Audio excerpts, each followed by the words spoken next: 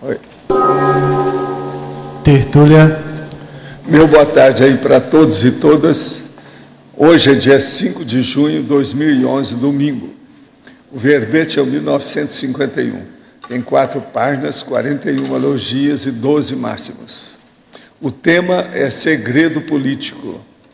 A especialidade é politicologia. Vocês sabem que está sendo desenvolvido aí o simpósio da democracia direta. A hora que acabar aqui hoje, eu vou para lá também com eles. Definição: O segredo político é recurso básico utilizado pelos governantes, de modo positivo ou negativo, ao longo da história da humanidade, sendo referido pelos historiógrafos de todas as latitudes em todos os tempos. Os segredos ou serviços secretos, o conselho secreto, os trabalhos de espionagem, o gabinete confidencial, o aposento oculto, o ônus do segredo político, a habilidade de ocultar as intenções como condição ambígua, sadia ou patológica, a realidade política ignorada, a realidade política enigmática, o fato de a maioria dos segredos de Estado ainda serem empregados de maneira anticosmoética, a luta das guerrilhas se assentando no segredo, a guerra submarina se desenvolvendo através da ocultação, o trabalho de infiltração enquanto serviço secreto, o chamado serviço de inteligência constituindo espionagem pura e simples, a força da espionagem nas ditaduras, as dissimulações políticas, as mentiras políticas, a reticência política, a máscara pública do politiqueiro, a quebra do segredo. E ainda tem outras coisas. Agora, a ausência de segredos perante a multidimensionalidade, o testemunho extrafísico dos atos conscienciais. Na divisão da argumentologia, tem a taxologia com oito categorias de segredos políticos em geral. Na remissiologia, nós destacamos entre os 15 verbetes apontados: ato clandestino, consciência política, exposição pública, obscuridade e poder da verdade. E tem também uma frase enfática. A ambiguidade dos segredos políticos, mesmo com toda a tecnologia da consciência, da conviviologia do terceiro milênio, ainda deixa muito a desejar quanto à vivência da cosmoeticologia. Você se envolve com os segredos da politicologia? Por qual razão? A bibliografia tem duas fontes bibliográficas aí de políticas. Agora, questionamento aqui. Fui tentar praticar o EV e pedi ajuda ao amparador. Entrei em estado de sonho e logo fiquei consciente pelos efeitos que estavam acontecendo com o meu corpo. Tive o meu primeiro desdobramento. Quando o meu energossoma estava quase totalmente fora do corpo, eu tive medo e fiz força para voltar. Tudo isso em 13 minutos. O meu medo foi de não conseguir voltar ou de ter atacado por algum assediador. Devo me preocupar em relação a isso ou a qualquer outra coisa ao fazer o desdobramento? É normal tentar o EV acontecer o desdobramento, sendo que estou começando agora a trabalhar as energias, ainda tenho muita dificuldade. Olha, você está com 23 anos, então você está perdoado, porque você está muito chucro, está muito jejum, está engatinhando agora. É bom você pegar um livro que eu escrevi que chama Projeciologia, vai te dar um banho de loja sobre essas coisas. Esse seu medo é medo de gente boboca, menino. Está começando. A gente não pode ter medo. Do chão não passa. A consciência é imatável e imorrível. Tem que ter confiança, senão não adianta. Agora, nota que você tem chance. Então, deve estudar projeciologia, é o livro. Outro. Gostaria de saber se você conhece extrafisicamente Eurico Barçanufo. Qual a ligação dele com a cidade de Uberaba? E qual o nível evolutivo dele hoje? Nasci em Uberaba, mas hoje resido em Belo Horizonte desde muito pequeno minha mãe disse que no meu parto ela teve uma grande coincidência e viu a presença de Eurípides no local. Escuta, eu já falei muito sobre Eurípides, foi ele que ajudou meu irmão é, em 1941. E eu saí do corpo e participei da coisa, dei energia lá para melhorar meu irmão, que viveu muitos anos depois daquilo. Meu irmão estava desenganado. Agora, Eurípides nasceu em Sacramento, que é perto de Uberaba, lá, Triângulo Mineiro. Agora, o que, que se passa? Ele dessomou em 1918 com a gripe espanhola, na época do fim da guerra, Primeira Guerra. Ele dessomou com 38 anos. Eu já ouvi muitas vezes fora do corpo. Foi com ele que eu perguntei, quando tive um infarto aos 28 anos, o que, que é que eu devia de fazer. Então ele falou assim, ó, você não pode seguir o que eu fiz. Eu falei com ele, mas você chegou a suicidar? Eu falei assim, não, a minha vida foi igual ao suicídio, que eu trabalhava demais. Aquilo acabou comigo, eu fiquei fraco, sem imunidade, a gripe espanhola acabou comigo. Agora, o que, que se passa? Eu tinha 28 anos. Então ele falou para mim: cuidado, você tem 10 anos mesmo que eu. Você pode ir embora. Foi aí que eu comecei a mudar minha vida toda, em 1960. Agora, o Eurípides, é, tem muito livro sobre ele, é só você pegar, que fala muito. Tem uns até exagerados a respeito dele, mas tem muita biografia sobre Eurípides. Vale a pena ver. Uma outra coisa, lá no bairro que eu fundei, lá em Uberaba, que é o Jardim das Américas, a primeira rua eu consegui arranjar na prefeitura e foi dado o nome de Rua Eurípides Barçanufo, que é onde tem a comunhão espírita cristã que a gente fundou com meus amigos lá. Outro, como associar o cosmograma, os jornais históricos agora digitalizados e as retrocognições de maneira sadia e evolutiva? Olha, aí é você escolher o prioritário, ver aquilo que interessa dentro daquilo que você pesquisa. Olha bem as suas investigações, o que, é que você quer. E colocar tudo em funcionamento. Qualquer coisa, dá um pulo aqui e conversa, por exemplo, com a Mi e com o, também o Luiz, Luiz Bonassi, que são especialistas em cosmograma. Eles te dão um banho de loja sobre o assunto.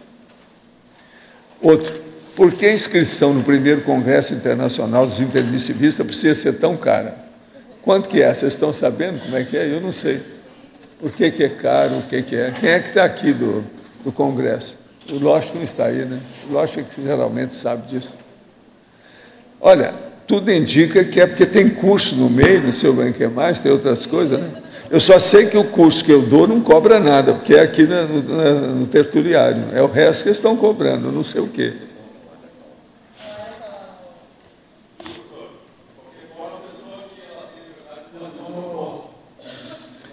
Fala aí, não, fala aí para ela.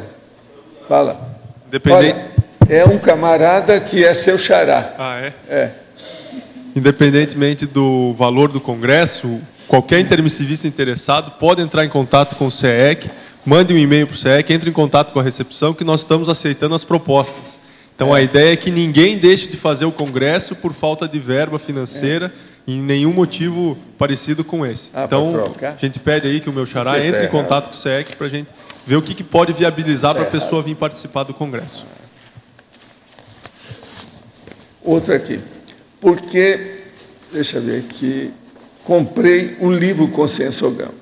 Como trabalho e estudo, não tem como me afastar para fazer curso e minha cidade não tem nenhum IPC.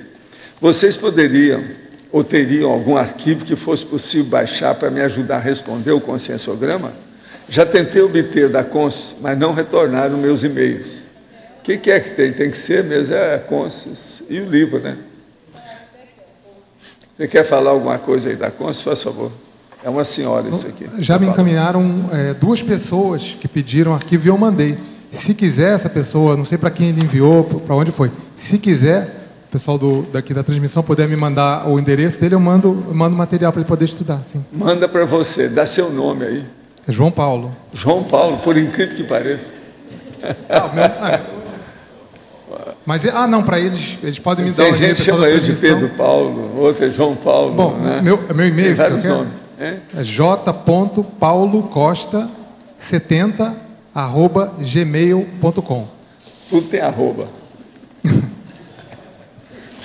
Considerando que a consciência esteja ainda na fase de restringimento fetal, seria útil estudar os fatos históricos acontecidos no dia da dessoma? Seria mais válido pesquisar os fatos e parafatos acontecidos no período mensal que antecede o processo gestacional? Poderia comentar? Sim. O ideal é estudar o que aconteceu antes. Sabe?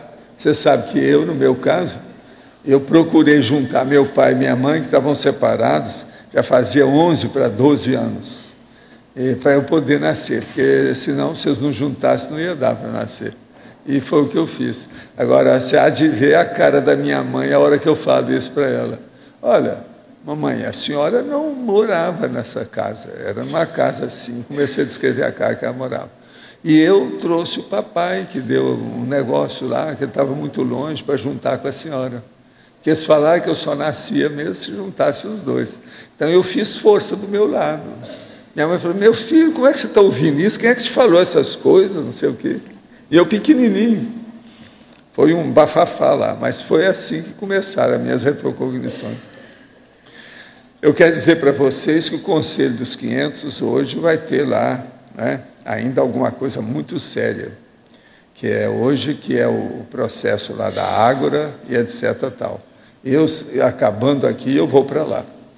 Eu quero dizer para vocês que o nosso prefeito, o doutor Paulo, esteve aqui e deixou esses convites que é o processo. O prefeito Paulo é o secretário, tem a honra de convidar para a inauguração do Hospital Municipal Padre Germano Lauque. É no dia 10 de junho, às 11 horas, na Dorinã Barbosa. É um negócio sério esse hospital. Beleza, isso aqui. Ó. Se alguém quiser ver, é bom ver. Isso aqui serve de convite também para o processo. E eu preciso de, de um convite desse que eu vou levar. Pode ser que eu vá aparecer lá para ver com calma essa inauguração. O negócio é muito sério. É um grande hospital. Gente, examina bem, olha o tamanho. Ó. Não é fácil, não. E outra coisa, todo mundo deu contra aqui quando ele quis fazer isso. O negócio não é fácil. Ele tem razão em tudo aquilo que ele falou lá. Agora, outra coisa, o Jornal da Cognópolis acabou de sair. Esse é o número 186. Está aqui. Então tá, novo projeto gráfico editorial do JC. Abaixo assinado, programa Amigo da Enciclopédia lança documentária, Viagem Uberaba, que nós fizemos. Tem também Poder e Autossuperação, é, Sim do Ostracismo. Está aqui o nosso amigo Max, ele não está aí agora, né? Está com a panca de galã de Hollywood. Agora, tem aí uma série aqui de, de empresas, de tudo quanto é tipo também, e é lançado pela Comunicons. O jornal está muito bom. Agora, outra coisa que eu queria falar para vocês. Hoje é dia 5 de junho. Ah, domingo que vem é dia dos namorados. Eu quero avisar para vocês que lá na epígrafe tem uma porção de livrinho, umas coisas lá que servem para a minha namorada, para o meu namorado e etc. tal. Eu quero dizer que eu já passei por lá, comprei um e dei para minha namorada, que é a minha mulher. Um livro que tem belos pensamentos sobre o processo do dia do, dos namorados. De modo que vocês ficam sabendo, eu estou falando com uma semana de antecedência, o livrinho é pequenininho, baratíssimo. Vale a pena ver. E vale a pena. E outra coisa, colocando lá dentro da sacola toda bacana para dar, é o máximo. Aquilo é impressionante. Vale a pena vocês passarem lá e ver. Eu faço a minha prestação de serviço aqui. E essa tem uma semana de antecedência. Qualquer um pode ir lá o dia dos namorados. Você não pode reclamar. O negócio é sério. Agora, eu queria saber se a Carla uma já chegou, ainda não, né? Ah, tá aí. Ó, o seu material. Eu vi, não vi nada demais, está tudo bem. Agora, é de alta expressão esse trabalho todo. Vocês têm que ver o caminho disso, é coisa séria. Por isso que eles cobram tão caro. É. Deve ser. Porque o negócio é tudo de grife. Examina bem. Tá Mas é bacana. Né? Não, coisa séria, brava, não vi nada de nada de nada. Agora, é tipo francês. Tudo. Você sabe como é que é? Francês é o seguinte: ele traz na mesa para você uma bacia desse tamanho. Agora, comida só um pouquinho no meio. Então, aí tem essas coisas todas. Agora, aí tem doce de amendoim, uma opção de coisa nesse sentido, né? muito sério aquilo. Tem coisa boa. É finesse francesa, parisiense, isso aí. É tudo à base da finesse. Raffiné, que é, em francês é raffiné.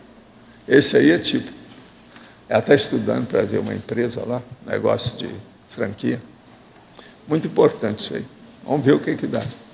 Agora, ó, eu quero dizer para vocês que no o, o, livro aí que eu dei para vocês lerem, eu já estou na página 146, já li mais da metade.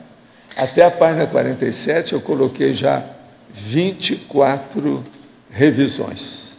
Agora, é preciso fazer, porque eu dei para vocês sem fazer revisão nenhuma, está tudo na bruta, de propósito. Porque com isso eu checo os originais e checo cada um de vocês. Aquele que lê no tapa, eu vou ver e vou pisar no pé. Você não acha que eu tenho, vou ter direito. Agora, eu estou lendo primeiro, porque assim o primeiro que me entregar eu já tenho para onde passar, que eu vou passar os seis para esse volume que eu tenho. Estou na página 146, quer dizer, até amanhã eu já liquidei o assunto. Estou olhando muito detalhe, fazendo anotação. Outra coisa, nesse que eu já vi, eu já vi dois que eu preciso fazer verbete, que está lá. Está inspirando os verbetes, coisa que eu ainda não anotei. Tem dois temas sobre verbete que eu vi lá, e vale a pena falar.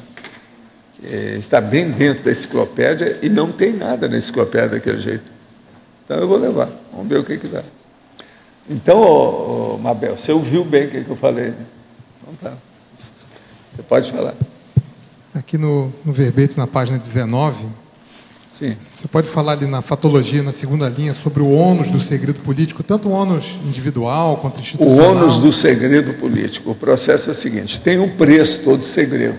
A maior prova que nós temos aí é o processo dos Estados Unidos com o Wikileaks, que aconteceu agora recentemente.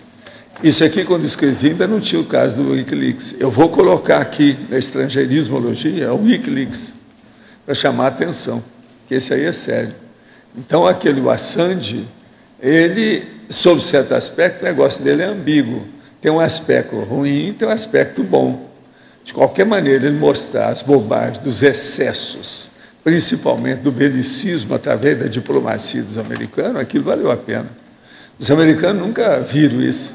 Eles acham que dominam o mundo, que não são indevassáveis, intocáveis. Eu gostei demais desse processo do Wikileaks. E outra coisa, tem um monte de livros sobre esse processo, muito grande aí, sobre o assunto. Eu já vi uns dois livros até agora, mas ainda quero ler o resto, para entender. Não é fácil o processo desses hackers, principalmente do Assange. E aqui outra coisa, por que que na tributologia o senhor colocou contra a holomaturescência das prioridades evolutivas? Predomínio das faculdades mentais, notadamente do autodiscernimento quanto ao óleo maturecente das prioridades evolutivas. Sim, eu digo para você, isso aí é prioritário, o segredo geralmente é uma coisa ruim. Porque se a pessoa chegou lá começou a esconder muita coisa, é porque ela está colocando alguma coisa debaixo do tapete. Ela está ocultando alguma coisa que não quer que o povo fique sabendo. Muita coisa tem que expor. Tem até aquela piada do prefeito que gosta só de trabalho que todo mundo vê. Ele não gosta de nada que seja oculto. Então, por exemplo, ele desoculta aquilo que é maracutaia. Olha só, veja só na televisão, por exemplo, olha lá o Brasil Urgente lá do Datena. Todo dia tem besteira enorme. Agora, só para vocês ficarem sabendo, hoje eu estive olhando aí, que está na, eu vi lá pelo iPad, que eles fizeram um levantamento do colarinho branco no Brasil. Vocês sabiam que nessas últimas décadas, tudo que tem no Brasil, que apenas 1% de todos os crimes de colarinho branco que tiveram alguma pena em cima da pessoa. Mas não tem nada. Então, o povo está roubando à vontade, porque ninguém vai para a cadeia, não paga nada, não tem nada. Agora, está na jornal O Globo de hoje. Olha lá, negócio sério. 1% nas últimas décadas, só que foram condenados. Mais nada. Tudo tem saída. Colarinho branco é das coisas mais sérias que tem, que, que mexe com o processo do governo, que é o dinheiro que o povo dá, vai tudo desviado. Então, veja bem, segredo político. Esse segredo político hoje no Brasil tem cada ramificações que nós não temos nenhuma, nem imaginação, nem, não temos capacidade de conceber as maracutaias, armadilhas, sujeiras, ilicitude, criminalidade, marginalidade que esse povo faz de rouba, roubalheira de tudo quanto é tipo. Nós não temos ideia disso. Agora, pensa só nisso. O Brasil já condenou apenas 1% de todos os colarinhos brancos. São milhares de casos. Lá está falando. Está no jornal O Globo de hoje, com todos os detalhes sobre isso. Eu fiquei besta. Eu ia trazer quase que o iPad aqui para mostrar o iPad, para mostrar para vocês a situação toda, como é que está. Está falando aí alguma coisa? Então, o Rio de Janeiro lá. Fala do Rio. Agora, o Rio é um dos maiores que tem. Só para mostrar lá é 1%. Agora, os outros nem ninguém sabe. Já pensou em Brasília? Lá ninguém vai. Não deve ter nem 0,00001%. Isso aí é do Rio de Janeiro, que eles falaram, porque o Globo é do Rio de Janeiro. Então pense bem nisso, como é que fica. Não é fácil. Agora, você tem isso aí na internet, né? Você pegou? É. Pois é. O iPad traz tudo isso, ele faz o download, a gente vê tudo direitinho. É. E eu procuro só as notícias assim do dia, aquilo que interessa. Esse aí me chamou atenção para ver, de tudo que tem lá. Está é, tá na primeira página aí, depois nas páginas interiores, detalhes. Outra coisa aqui, poderia fazer a correlação na página 20 entre códigologia, o código pessoal de cosmoética, o código grupal de cosmoética, os pactos de silêncio dos códigos mafiosos. O problema todo é o seguinte: o código grupal é aquele conjunto das pessoas que estão trabalhando junto. Agora, o pessoal é que é o mais sério, que é o seu, aquilo que diz respeito a você. Agora, os pactos de silêncio dos códigos mafiosos isso é processo baratrosférico negativo, horrível, que tem por aí afora. Eles são anticosmoéticos. Então há uma diferença enorme, uma coisa com outra. Agora, a teorologia, a teoria da interprisão grupo kármica. Sim, isso aí a pessoa, você, se não sabe, tem que ler e ver como é que é. O que, é que nós falamos sobre interprisão grupo kármica? Tem muita coisa na, na enciclopédia. Legislogia, a lei da empatia, a lei da afinidade interconsciencial, a lei da grupalidade, a lei da inseparabilidade. Hipótese. A consciência, um grupo, nas condições acima, cai de paraquedas na conscienciologia sem curso intermissivo.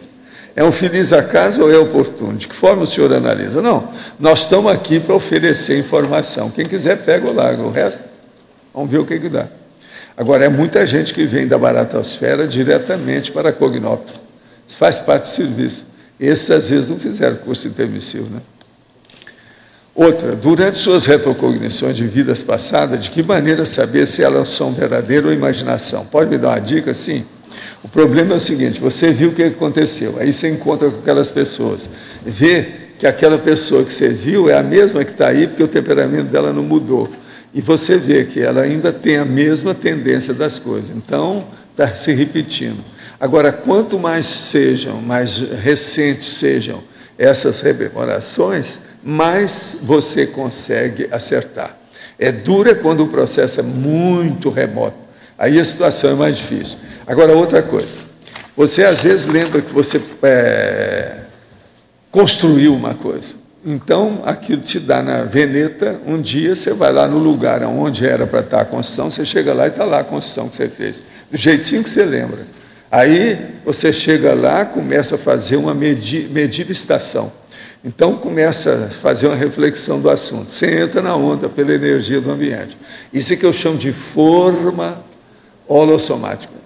No caso, que é o holopensênico. Agora, isso é muito sério, porque pega a pessoa do jeito que ela precisa.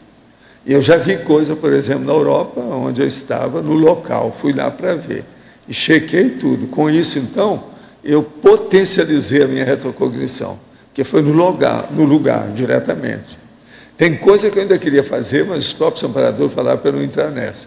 Tem uma que eu queria ir à África para examinar o negócio, que eu vi que lá ainda tem um troço, que eu participei. Mas eles falaram para eu não ir. Isso foi na década de 70. Nunca mais eu pensei nisso. Tanto que depois até evitei de ir à África. Eu já fui à África em poucos lugares, não fui em todos que eu queria ir, não. Porque eles mesmos falaram para não ir, porque não era prioritário. Então, eu deixei. De modo que tem uma série de condições que você afirma isso com. É, igual uma matemática. Você não tem erro.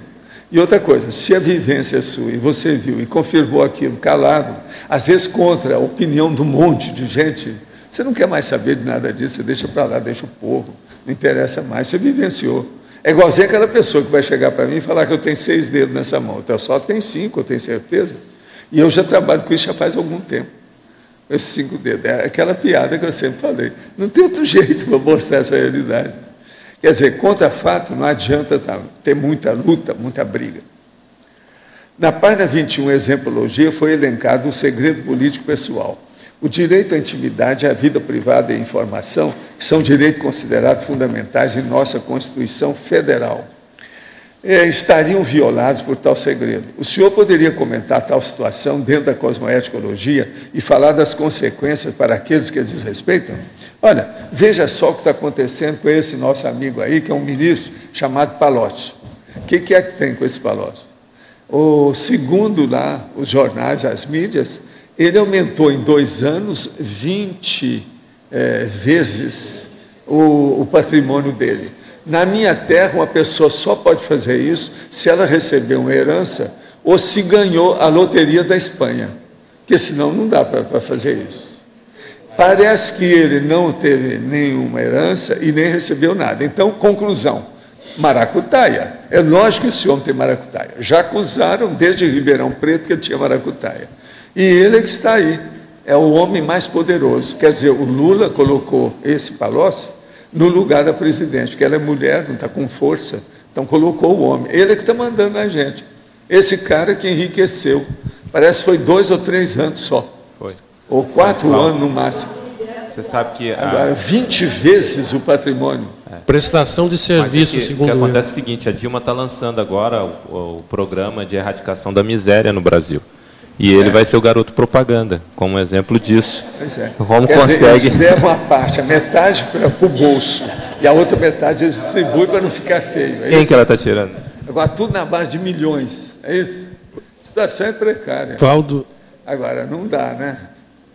Como é que é que fica isso? Ele, Brasil dá Ele disse que tudo foi prestação de serviço, aumentar 20 vezes com prestação não, de serviço. Ele, ele prestou serviço falar demais. Com Bill Gates, sou superior a você. 20 vezes o meu patrimônio, você nunca conseguiu uma coisa dessa. Outra coisa, tem que chegar para o Ike Batista e falar assim: ó, você está fora. Primeiro do Brasil sou eu. Quer dizer, em matéria de economia, o nome é o maior. Agora o. 20 vezes. O apartamento dele de São Paulo está no nome de um laranja. Está na Veja dessa semana agora. Tá, né? Aí agora a oposição está falando que não tem mais conversa, que o Palocci é página virada. Já acabou. Sei, mas veja. A oposição, né? E o Lula, ele vai deixar? É. Não é a presidente, é o Lula. Como é que é? O Lula deixa? Vocês viram que a presidente estava doente, aconteceu alguma coisa, enfraqueceu, o Lula foi lá, tomou conta novamente do governo. Ele é que estava dirigindo o Brasil esses dias agora. Fez o negócio todo, é, chegou lá, mandou no, no, no chefe do Senado, que é um cara muito antigo, ameaçou, fossilizado que está lá. Ameaçou Temer. Então mandou nele aquele negócio todo. Então como é que fica? É, ela mandou fazer uma ameaça para o Temer, se não aprovasse e tal. Não, agora o, o, Temer foi e falou a favor dele, né? Do, do, vou te contar, hein? E Brasil, é hoje, né? Não é fácil. E eu não tenho mais. Vocês lembram de alguma maracutaia que pode acontecer mais de nova no Brasil? Não tem mais. Tudo que se pensou, imaginou, tudo aquilo que era irreal, Está tudo materializado concretamente. Impressionante. Os segredos políticos negativos mantidos na politicagem brasileira eleitoreira são determinantes para o aumento de consciência políticas até um certo ponto. Mas agora isso está um erro. Por isso que a gente fala aqui que precisa de politizar o povo para não deixar isso acontecer. Nós ainda estamos vivendo esse regime representativo furado. Mas na eleição poderia fazer umas apresentações do negócio. Agora o povo vota no povo todo que está aí, eles chegam, compram os eleitores, pronto, tudo é eleitor de cabresto. Então como é que fica? Agora, nós voltamos com a política da época da década de 30 no Brasil, que era desse jeito no interior. É, podia explicar, aprofundar na página 20 a paradoxologia. Né? Eu entendo assim, mas eu não entendi bem por que é paradoxo que, que você está querendo? É o paradoxo? Paradoxo da consciência apolítica. O paradoxo da consciência política. Pelo seguinte, é impossível uma pessoa ser apolítica. Isso é um paradoxo. É impossível. É, a política está em tudo. a pessoa chega para você e fala assim: eu sou apolítico. Isso já é a política não, dela. Não existe ninguém apolítico. Isso já é um princípio político. Não existe ninguém. Já se posicionou. Isso já é. Então, veja, quando a gente fala a politicologia, a gente tem que usar isso aí. Mas é um troço paradoxal. A rigor, praticamente, isso não existe. E na página 21. É a partidária pode ser, mas a, a política não dá. Não existe ninguém a política. É isso. Nós somos apartidários aqui. Mas nós não somos a política. Na página 21... Agora, as instituições nossas são a política, porque elas não são dedicadas à política, elas não criam partido. Na página O que que é? 21, eu queria que você aprofundasse no anonimato, que está logo no fim da A chamada onipotência da causa primária das coisas, inteligência suprema do universo, primo pensene, está baseado no segredo do anonimato, tudo ver sem ser vista. E se tudo ver sem sem vista? É o anonimato. Mas o anonimato- Deus é isso. Eles falam de Deus, é isso aí. Primo pensene. Tudo ele vê, ninguém vê quem é ele. Ah, tudo ele vê. Tá? Entende? Isso é ver sem ser visto. É o processo do segredo absoluto. Esse é o primeiro segredo que eles acham, que é o primo pensene, a causa primária e a inteligência suprema do universo. É isso aí. Estou falando a filosofia, as coisas que tem, que mexe com religião, filosofia, doutrina política, doutrinas de modo geral. Então, veja, domina tudo e ninguém sabe como. Ninguém viu como é que é. Então ele vê tudo e ninguém vê quem é ele. Agora veja, o George Orwell, 1984, ele fez baseado nisso. Entende? Que é o grande irmão. O grande irmão é isso. Até um certo ponto, é a mesma coisa. Agora, ó, você vai olhar que tem aqui, ó, George Orwell, 1984, 1984. Entende? O processo da impessoa, é o romance. Entende? Que é o negócio dele. Todos esses vários intelectuais, né? Que tam- É. a Aí está aí, está na bibliografia, o número 2. que não, E eu falo do Bob, lá, seu parente. que não vê o parapsiquismo, você quis dizer É. o estado vibracional, etc. Não, Eles aqui, não ó, enxergam aqui eu poderia colocar 500 livros, mas Também não quase coloquei. Não. ninguém enxerga. não coloquei, porque isso tem todo lado, né? Segredo é das coisas mais comuns que tem dentro da área da política. Não tem jeito. Professor. Professor Valdo. Você pode falar aqui na página 22 sobre o mega omissão? Terceiro Mega parágrafo. omissão. Os teólogos, os belicistas, os políticos, os filósofos, os intelectuais, por exemplo, Jeremy Bentham, George Orwell, Elias Canetti, Norberto Bobbio e legiões de outros não consideraram devidamente a realidade do segredo político envolvendo o parapsiquismo, o estado vibracional e a leitura individual autoconfiável da parapsicosfera das pessoas. Processo evoluído de segredo multidimensional de muito mais alta expressão se comparado com todos os métodos referidos aqui. Quer dizer, esses que são as maiores cabeças que você pega na internet ou na história humana, eles não viram nada de parapsiquismo. Então, foram no bico de um monte de coisa de segredo da política. Agora, quem olha uma pessoa, chegou um político na sua frente, você observa bem a parapsicosfera dele, não adianta querer esconder o segredo, você vai saber tudo o que, que ele tem. Através das energias da parapsicosfera. Professor Valdo, o senhor conheceu algum político que tenha dominado melhor o, o parapsiquismo? Que tenha atuado com o parapsiquismo? Totalmente não. Tinha uns que sabiam da história e lançavam a mão dos médiums. É o JK, por JK. exemplo, conosco, com o Chico, comigo. É. Você está entendendo? E outra coisa, o povo que ele colocava junto, os ajudantes de ordem dele, a maioria admitia os processos todos e conhecia É. o problema. O João Fileres, por exemplo, lá junto do JK, entendia bem dos processos nossos para Agora, é interessante que A gente conversava abrindo o jogo, É. e conhecia tudo. essa questão da Constituição de Brasília foi um segredo de Estado, né? A participação do movimento espírita. Mas ele, na, na ocasião, ele não tinha outro jeito. Não tinha outro jeito. perfeito. Por que, que esse negócio de segredo político aqui é neutro? É por causa disso. Tem coisa que não tem jeito, você tem que guardar antes que eles te matem. É. Entende? O segredo político, às vezes, é mais sério que o segredo comercial, industrial. Depende do que, que é, porque atinge maior número de pessoas. Nós procuramos muito, né, nas entrevistas lá, aqueles bilhetinhos, os, os- as cartas, e a gente acha que eles devem ter rasgado, queimado, né? É. Por causa dessa questão do segredo de Estado. né? Não, é outra coisa. Eles acabaram com ele. Né? Esse povo todo aí. É muito político do Brasil que foi morto, assassinado e encoberto. Um monte Agora, deles. Valdo, você acha que qual que seria o tempo é, desse segredo de Estado? 50 Não, anos? aí não, aí 100 anos? depende, depende do que que é. A história geralmente são 50 anos, mas hoje já não é mais, hoje é menos tempo. Hoje é menos. porque as próprias gerações hoje são menores. Antigamente uma geração era 20, 22, 25 anos, hoje é na base de 10 anos. Isso tudo muda. Então é, é coisa muito séria a gente pensar nessa condição. Entende? Uhum. Então, em matéria de segredo, é a mesma coisa. Hoje a coisa fica mais clara antes da hora. Uma, Porque tem que abrir os arquivos, o processo todo expor, são os arquivos. Né? Uma última questão aqui na, na página 20, hum. em legislogia, é, você coloca a lei da Maxi Proexis. Você poderia falar um pouco sobre essa, as, as implicações dessa lei? Legislogia. Sim. A lei da Max Proex. A Max Proex é o seguinte: a primeira coisa que tem que ver.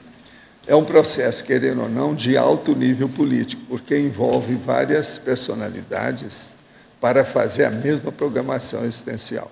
É o que acontece aqui conosco. Por que é que eu trabalho com e quero aumentar o nível de politização de vocês, ou da nossa Cognops, ou da CCCI, a turma que está aqui? Porque é um processo coletivo, grupal, grande. Entende? E outra coisa, nós não temos assim o um embasamento, por exemplo, de uma religião. O povo lança a mão de uma religião que é para se defender. Se tivesse, era inatacável, ninguém vem. Agora, conosco, nós temos que saber é argumentar o processo político. Então, é muito sério o processo da Marx Pro Ex nossa. Porque nós somos sozinhos, nós não temos, nunca recebemos até agora nenhuma dotação orçamentária, nem municipal, nem estadual, nem nacional, nem internacional. Como é que é que fica isso? Baseado em quê que nós vamos nos arrimar? Aonde que é que é o nosso suporte? A segurança que a gente vai ter? Qual que é que nós temos? Então, o processo é político, antes de mais nada. Pensa bem. E nós não guardamos segredo de nada. A nossa política, ou o segredo político nosso é zero. Então, tudo a gente abre o jogo. Outra coisa, se você também não deve nada para o governo, você pode falar tudo à vontade. Então, a liberdade é uma coisa de alta expressão, mas muito cara. Nós sabemos o preço que nós pagamos por isso. Se você aderisse a qualquer coisa dessa, fica tudo muito mais fácil. Agora, vamos ver o que, vai acontecer, porque nós vamos ter que começar a mexer com isso através do, do mega centro cultural da Holoteca. Aí vai ser diferente. Nós vamos entrar no outro patamar. Vamos ver o que, que vai dar disso. Vai ser a primeira vez que nós vamos ter, assim, aportes externos de alto nível que vai envolver processo de governo. Agora, o que é engraçado é que isso tudo a gente sempre teve problema com tudo quanto é tipo de político aqui. Teve eleição que apareceram aí quando a gente tinha lá, que ainda ela lá naquele salão verde, dezenas de políticos da área toda aqui. Sempre a gente tem. Não tem de fugir disso. Agora, por quê? Devido ao processo do nível intelectual da CCCI. Não é só o número de pessoas que tem aqui, não. É o nível intelectual local, como é que é. Uma outra coisa, a turma que chegou aí, que é daqui, tanto o prefeito quanto o supremo dirigente da Itaipu, eles falaram, ó, foi o máximo essa ideia de você de fazer a democracia direta. Parabéns para você, o, o Paulo. Parabéns para você, Walter, porque essa ideia pode ser. Quem assistiu, está assistindo o evento ali é o, é o, futuro fundador do PSD, né? Desse partido aí do, do Kassab. Ele estava assistindo ao evento e ele falou assim para mim no final agora: Olha, eu entrei com uma ideia de vocês. No meio, eu mudei de ideia. E no final, agora eu estou impressionado. Quer dizer que ele viu o alcance da coisa. Ele falou isso. Gente, se levar o processo político para esclarecer mais, muita coisa vai acontecer é, a favor. É. E o nível vai criar debate. problema para muita gente. Alguém, alguns vão se despertar vão acordar. Porque o processo todo é o aware, aware, political. Sabe? E esse, political. E esse coordenador da Rio Mais 20, que teve lá ontem, também, o debate que a gente fez, ele mesmo fora, ele não entrou no debate, mas a gente saiu e ficou conversando com ele. Ele, ele comentou, ele convidou né, a gente para participar lá das, das questões da Rio Mais 20, e, e, falou que o assunto é bem interessante, pertinente. Agora é bacana ele chegar aí, porque nós somos da 92 lá do é, Rio, a gente é. participou. Eu falei na 92, o negócio é. todo. Vale a pena. Agora você pensa bem, isso já tem 19 anos, né? Sim. São 19, 19 anos, anos. Impressionante isso. Alguma coisa saiu disso, porque se vão fazer de novo depois de 19 anos, quer dizer que não foi julgado fora. Né? Agora, Otânia, você pode falar, Tânia. Professor, na, na página 20, na antagonismologia. Sim. O senhor podia falar um, um pouco, ampliar a ideia desse antagonismo, o primeiro antagonismo? A explicitação e o silêncio. Com o segredo político? O problema todo disso aí é o processo cosmoético, eu acho. A base de tudo é o processo cosmoético. Por exemplo, eu falo sobre certos assuntos com uma pessoa até o nível que a cosmoética deixa. Às vezes eu sei mais do que aquilo e não falo. Então, alguma coisa eu estou adiando, sine die, para ver o que, que vai acontecer. Porque às vezes, se ela amadurecer e ela conseguir aguentar o tranco, eu falo, volto a falar, explicito mais, aprofundo o assunto, encaminho as coisas, coloco os outros protagonistas que eu não coloquei dentro do teatro daquilo que a gente está desenvolvendo. Então, tudo depende da pessoa, no caso. Isso eu acho que é cosmoético. Entende? E o senhor não dá nenhuma palhinha é, quando fala com a pessoa? Assim, Não, eu, eu falo até aquele coisa? ponto que ela possa entender. Se eu vejo que ela respondeu aquilo convenientemente, a gente prossegue. Agora, se aquilo vai fazer mais mal do que bem, eu não vou falar. O que, adianta? Não adianta. Ah.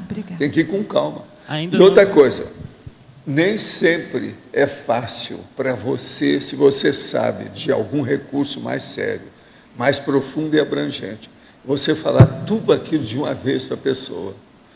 É muito difícil. Só se você tem muita convivialidade com a pessoa, conhece bem as reações que ela vai ter. Eu, na minha condição de médico, eu tenho muito receio dessas coisas. Eu vou com muita calma. Você tem que lembrar que nunca aquilo que eu falei matou ninguém. Outra coisa, ninguém nunca morreu também no consultório, meus consultórios que eu atendia no interior, depois no Rio, os lugares que eu atendi fora do Brasil, nunca ninguém morreu na minha frente. Muito embora teve gente que veio da fazenda que morreu, quis até me furar os olhos. Tudo isso eu vi. Mas não tinha nada a ver com peixe. Você está entendendo? Então, tudo por quê? Porque eu doso as coisas que eu vou fazer. É o jeito, tem que dosar.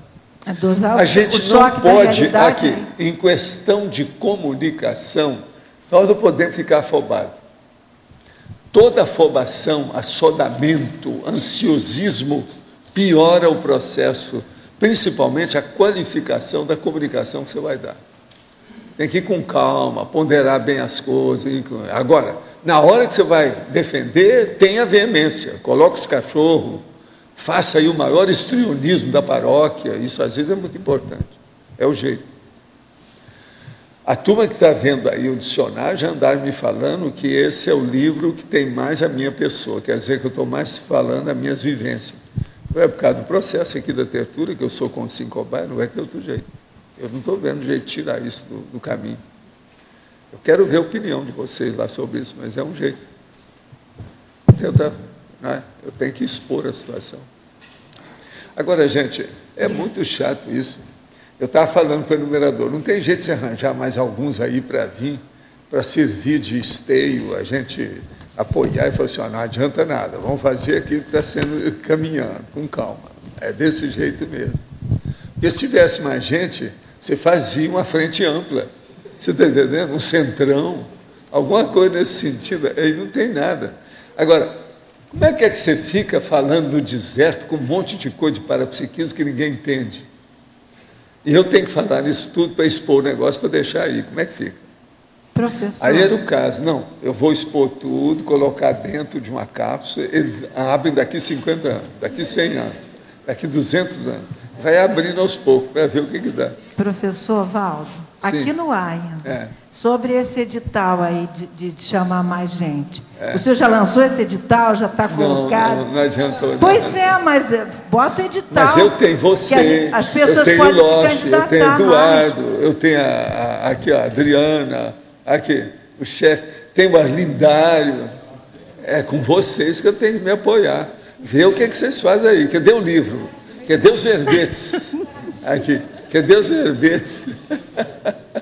Não, não é tadinha. Aquela dona da televisão era. Ih, coitado. Ih, coitado. Mas não é não. Vocês eu estou arrimado. Gente, Nós já temos 86 pessoas comigo na enciclopédia. O que vocês querem? Agora, o melhor da história, tem que fazer revisão do livro, que lá está só 70 e poucos. Já passou para 86. Demora um pouco, aumenta tudo. Meus negócios são tudo assim. Já está desatualizado o, o livro, sabe? É o total lá, já coloquei, tem que aumentar. Porque tem um verbete que eu estou falando do total da enciclopédia. Professor Valdo. É? É. É. Não, ali precisava de colocar e todo dia, né? Do jeito que os jornais fazem. Dá o download. E outra coisa, três horas da manhã. Já dá a notícia, que é o horário que eu faço Mas, a pesquisa. Paulo, você podia, você podia fazer o verbetômetro, que aí daria. Quantos, quantos verbetógrafos Sabe já por quê? tem? Eu tomo café mais ou menos entre três e quatro horas da manhã. Então, na hora que eu vou tomar café, etc., logo em seguida, eu olho o iPad. É assim que é o, meu, é a minha rotina do dia. Ô, é, Então, por exemplo, eu já vou dormir sabendo tudo que que é que já tem. Sabe como é que é? No dia. é um convite para Três horas já é muita coisa num dia de 24. Já passaram três horas. Já, se- já se viveu três horas desse dia de hoje. fazer um, um convite para algum voluntário que esteja ouvindo a gente aí que conheça Um essa tecnologia. É. não, não, essa tecnologia. Agora, ó, não precisa ser serenão, pode ser evoluciólogo, pode ser evolucióloga. Você está entendendo? Não, pode mas o, o convite é o seguinte: se algum voluntário. Alguém que foi parente de vocês em vidas anteriores de vocês, de alto nível. Deve ter. Se algum voluntário eh, conhece a técnica de fazer um app, aquele, aquele software para o iPhone, para o iPad, É. para transformar. Aquele de ver a fotografia, do jeito que eu faço com o Para meu filho. transformar Tá. a enciclopédia. É. Põe, aqui, é só a unha, você põe a unha. Tum. Aí aparece transformar a enciclopédia no, no, no- pro iPad, né? Parece que já tem, tem gente que conhece essa tecnologia. Agora, ó, o melhor da história não é essa, não. O melhor da história é uma verdadeira piada. É o Alex. Ele não está aí agora, né? Ele chega para mim, traz os negócios que a, De- a, a Terezinha mandou para mim, vira para mim e fala, então, como é que é? Você trouxe o iPad 2? Valdo, não pude comprar. Não teve jeito. A fila é tão grande, os negócios tão grandes que ele não conseguiu. Ele foi nos Estados Unidos, não comprou. Por isso que eles falaram que o processo todo é o seguinte: nunca houve um produto da tecnologia que desse tanto êxito, igual esse, o iPad. Agora, ó, logo que saiu os negócios que passou aqui, eu cheguei e falei dele, falei, ó, tem umas coisas boas nele mesmo, por causa disso, disso, eu estava certo. Agora eu estou usando, mas eu estou esperando dois para ampliar o negócio. Você acha que ele vai conseguir? Pois é, mas o Alex falou, Val, tem que entrar numa fila imensa. Eu vim embora, não tem jeito. Pois é. Não, pois é, a loja que ele foi tinha acabado, não tinha mais nada. Agora, ele estava olhando, estava tudo normal no comércio. A hora que viu onde é que estava o iPad, tinha uma multidão. Isso nos Estados Unidos. Loucura, né? Professor Valdo. É. Agora, olha, na minha terra isso já está errado. Se a demanda é maior do que a oferta do produto, está danado. Precisa de degolar os responsáveis.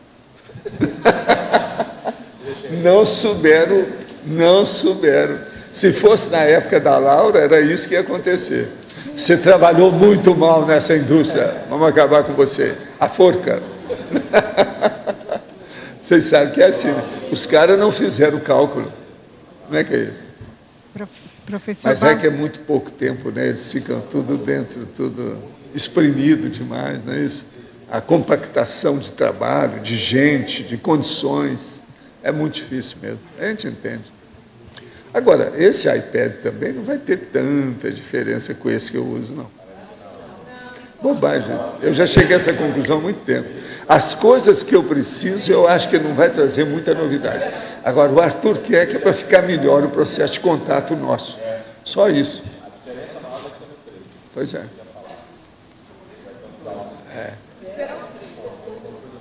E Uma coisa bem legal que, poderia, que a gente poderia fazer, e os tecnólogos que poderiam desenvolver, é o canal da tertúlia para o iPhone e para o iPad. Que a pessoa no iPad tá, assiste a tertúlia num nível de nitidez Agora, muito melhor. o meu plano com o Arthur é colocar um iPad aqui e o outro lá dentro. Entende? É, que Mas nós estamos esperando, o 2 fica aqui, eu posso passar esse meu lá para eles. Então, com isso, lá. a gente entra em contato, aí passa para lá. Não, é isso. Agora, o que eu quero é que eu possa desenhar aqui, falar umas coisas, explicar coisas, aquilo que eu não É tenho. isso aí. Isso eu já sei, eu sei mexer com isso, não tem problema. Muito legal, é. Está tudo lá, tudo é possível fazer. Outra coisa, eu posso fazer com a unha ou posso fazer com a caneta. tem tudo isso. O povo fica falando digital, não é nada, é unha. Eu é que uso o processo de unhal, em vez de digital, é unhal. Então você deixa. Qual que é a unha que você usa? Tem que arranjar uma unha adequada, tudo bonitinha, bem, bem acertada. Entende? É. Não, não, mas o processo é a unha, é menor ainda. Agora, o outro tem um, um processo que é uma, uma canetinha, que tem uma ponta. Qualquer coisa, você pode pôr ali também. Eu tenho a caneta. Já arranjaram a caneta também. Eu tenho tudo isso. Mas não resolve. O meu problema é ter a notícia. Isso aí que eu quero. Esse outro eu acho que não vai trazer muita coisa nesse sentido. Vai ser pouco. Mas é que a gente pode ampliar o quadro de noticiário. O meu já tem dezenas de coisas. O Arthur todo dia coloca mais alguma coisa. Aqueles quadros lá vão passando, é um monte, tudo quanto é jeito. Agora, tem que ter paciência. Certos jornais demoram cinco minutos ainda para fazer o download, mas você tem um jornal inteiro. Em vez de você passa a folha dele à vontade, não suja a sua mão, a tinta do jornal não passa para você. Quer dizer, tem umas vantagens. Pois é. É, esse ainda não tem. Não, eu quero o seguinte: eu quero é pegar tal unha. Eu gostei muito desse negócio da unha. Então, por exemplo, você pegar a unha, fazer assim, já imprime ali. Entende? O negócio tudo tem que ser nessa base, senão não vai não. Hein?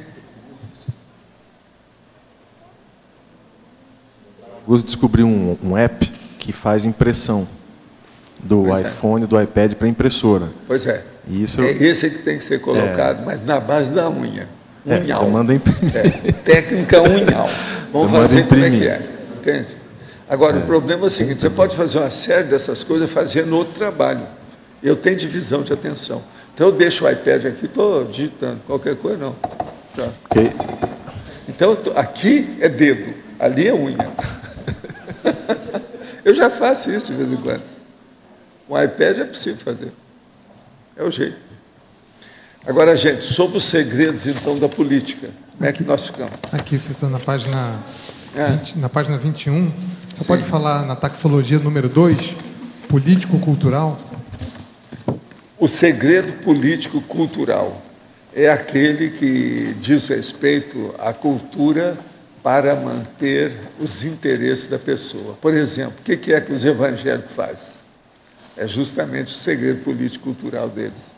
Esse negócio aí que eles acabam arranjando a opção de deputado, até senador para o lado dele, tudo são os evangélicos. Eles Nesse fazem caso- muito disso. Nesse caso, já encaixa também aqui com o último, né? Sim, Político-religioso. o religioso é a mesma coisa. Aqui tem vários que são mais ou menos do meu jeito. Por exemplo, a maioria tem o jurídico no meio, que eles arranjam algum advogado para defender. Se amanhã estourar qualquer coisa, tem uma defesa. Então tem advogado nisso tudo, o tempo todo. Professor, Sim. aqui no B. É. Aqui, ó. Isso. É, essa semana eu estava em Brasília e dentro disso que o senhor está falando, é, foi feito um movimento é, religioso lá para pressionar o Congresso em relação a essa criminalização da homofobia, né?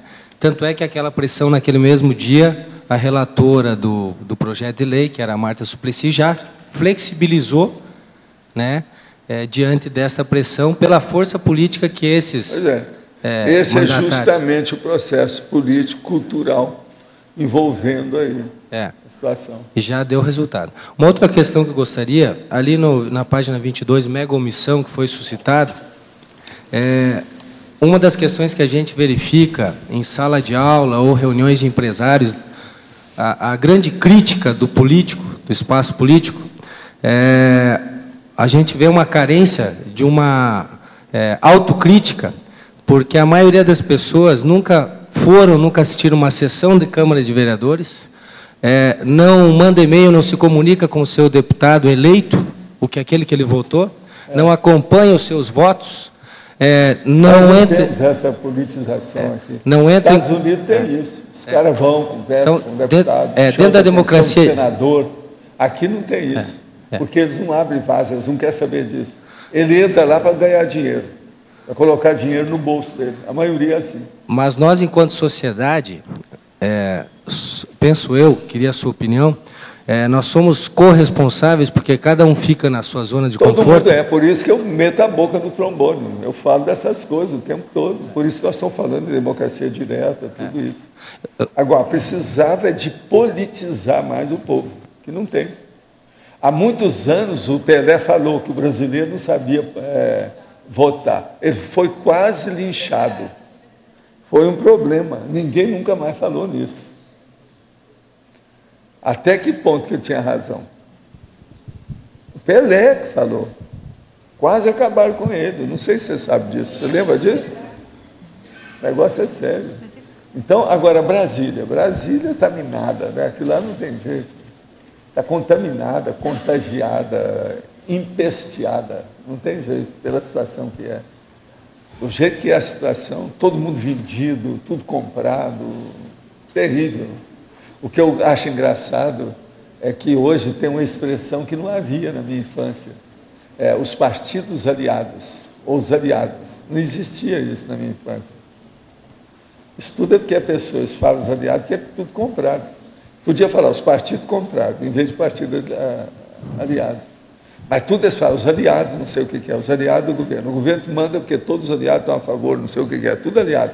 Isso não havia. A política antiga não havia isso, não. Isso tudo é para mascarar o processo aí do domínio, tudo comprado.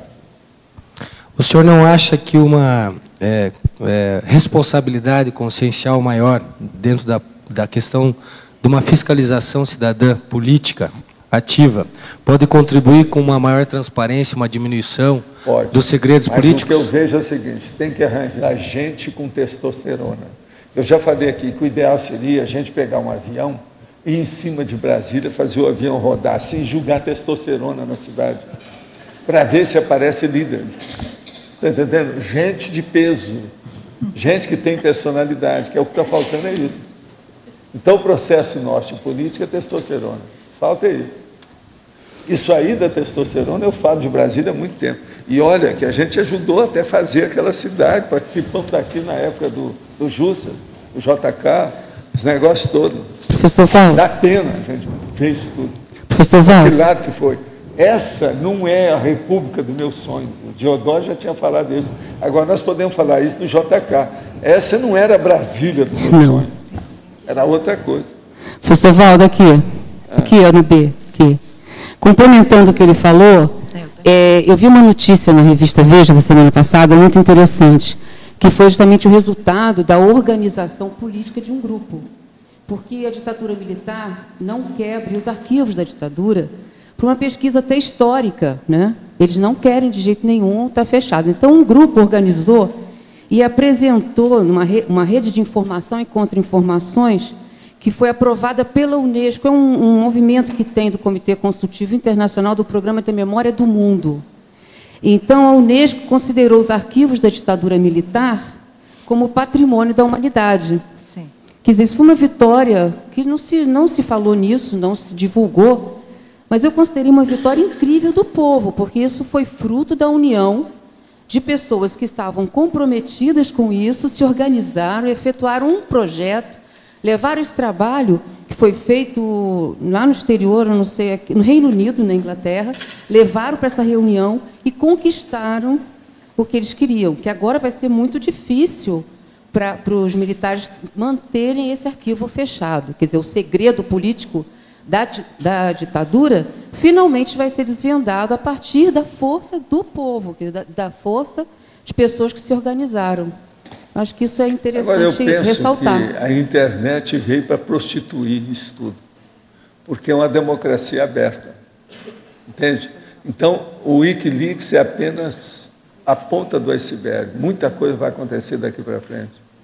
Vai ser muito difícil, nesse segredo político, ampliar. Ele vai diminuir. A tendência da agora para frente sempre é diminuir, diminuir, diminuir. Nunca vai ampliar mais. Não tem mais jeito. Valdo, Valdo, Professor? É, o Observatório Social, por exemplo, Jurandir, o, o Observatório Social que foi criado, e aqui início ele é ativo, eu visitei, a gente foi lá, teve uma aula a respeito do funcionamento. É um tipo de órgão assim. Ele fiscaliza, ele é, ele é sem fim de lucro, ele é trabalho voluntário, mas é que é, nós não temos no Brasil ainda uma educação para usar os órgãos que estão aí para nos defender. Então a gente não sabe usar o Procon, por exemplo. A gente não não tem o hábito de lidar, de ligar para uma instituição, Agora, ó, um saque, um serviço de apoio ao cliente, coisa, atendimento e fazer a, a, reclamação Qual é correta. É falta de educação. Condição? Só isso. Eu penso que uma boa parte de tudo isso existe por medo, medorreia, insegurança do povo. É, tem uma coisa na, na, nossa na, cultura. Na TV do Senado, aquele, aquela vez, fui no, na TV do Senado, eles me perguntaram o que, que o Brasil precisava, eu falei que era segurança. Agora, a segurança que eu estava falando não é só a segurança de ser assaltado, isso é de não. tudo, alimentar. É a segurança política, por isso que eu estava falando no Senado. Agora, o rapaz nem quis levar o negócio para frente. Que a tendência era o seguinte, se eu levasse, ia criar problema para ele lá dentro. Agora... Porque eles perguntaram para mim, eu fiz aquela piada. Né? Ele falou: qual é o problema, os três maiores problemas que o Brasil precisa? Não, os três maiores problemas do Brasil são segurança, segurança e segurança. Tudo baseado nisso. O povo tem medo por causa da insegurança disso aí. Agora, nós... Se começar a falar, daí a pouco a pessoa desaparece. É, nós temos olha, uma herança. Gente assim. do PT foi morto pelo próprio povo do PT. Como é que fica isso?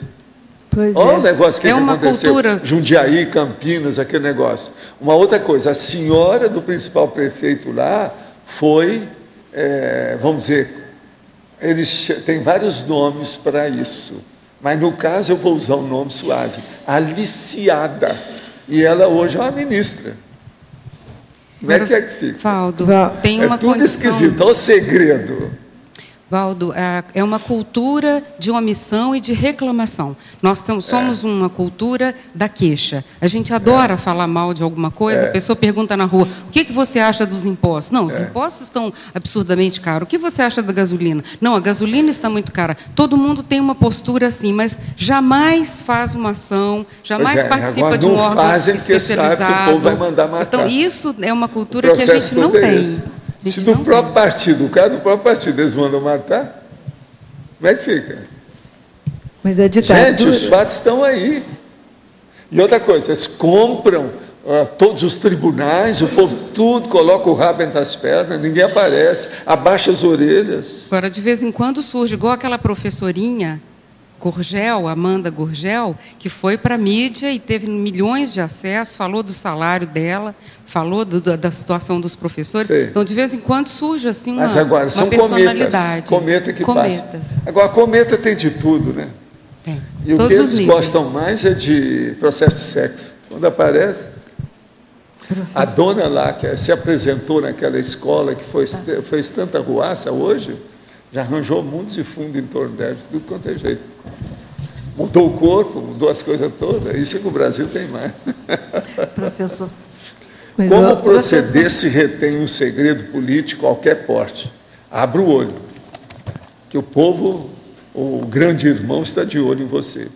Trabalhe no meio político diariamente. Perceba o óleo pensando carregado.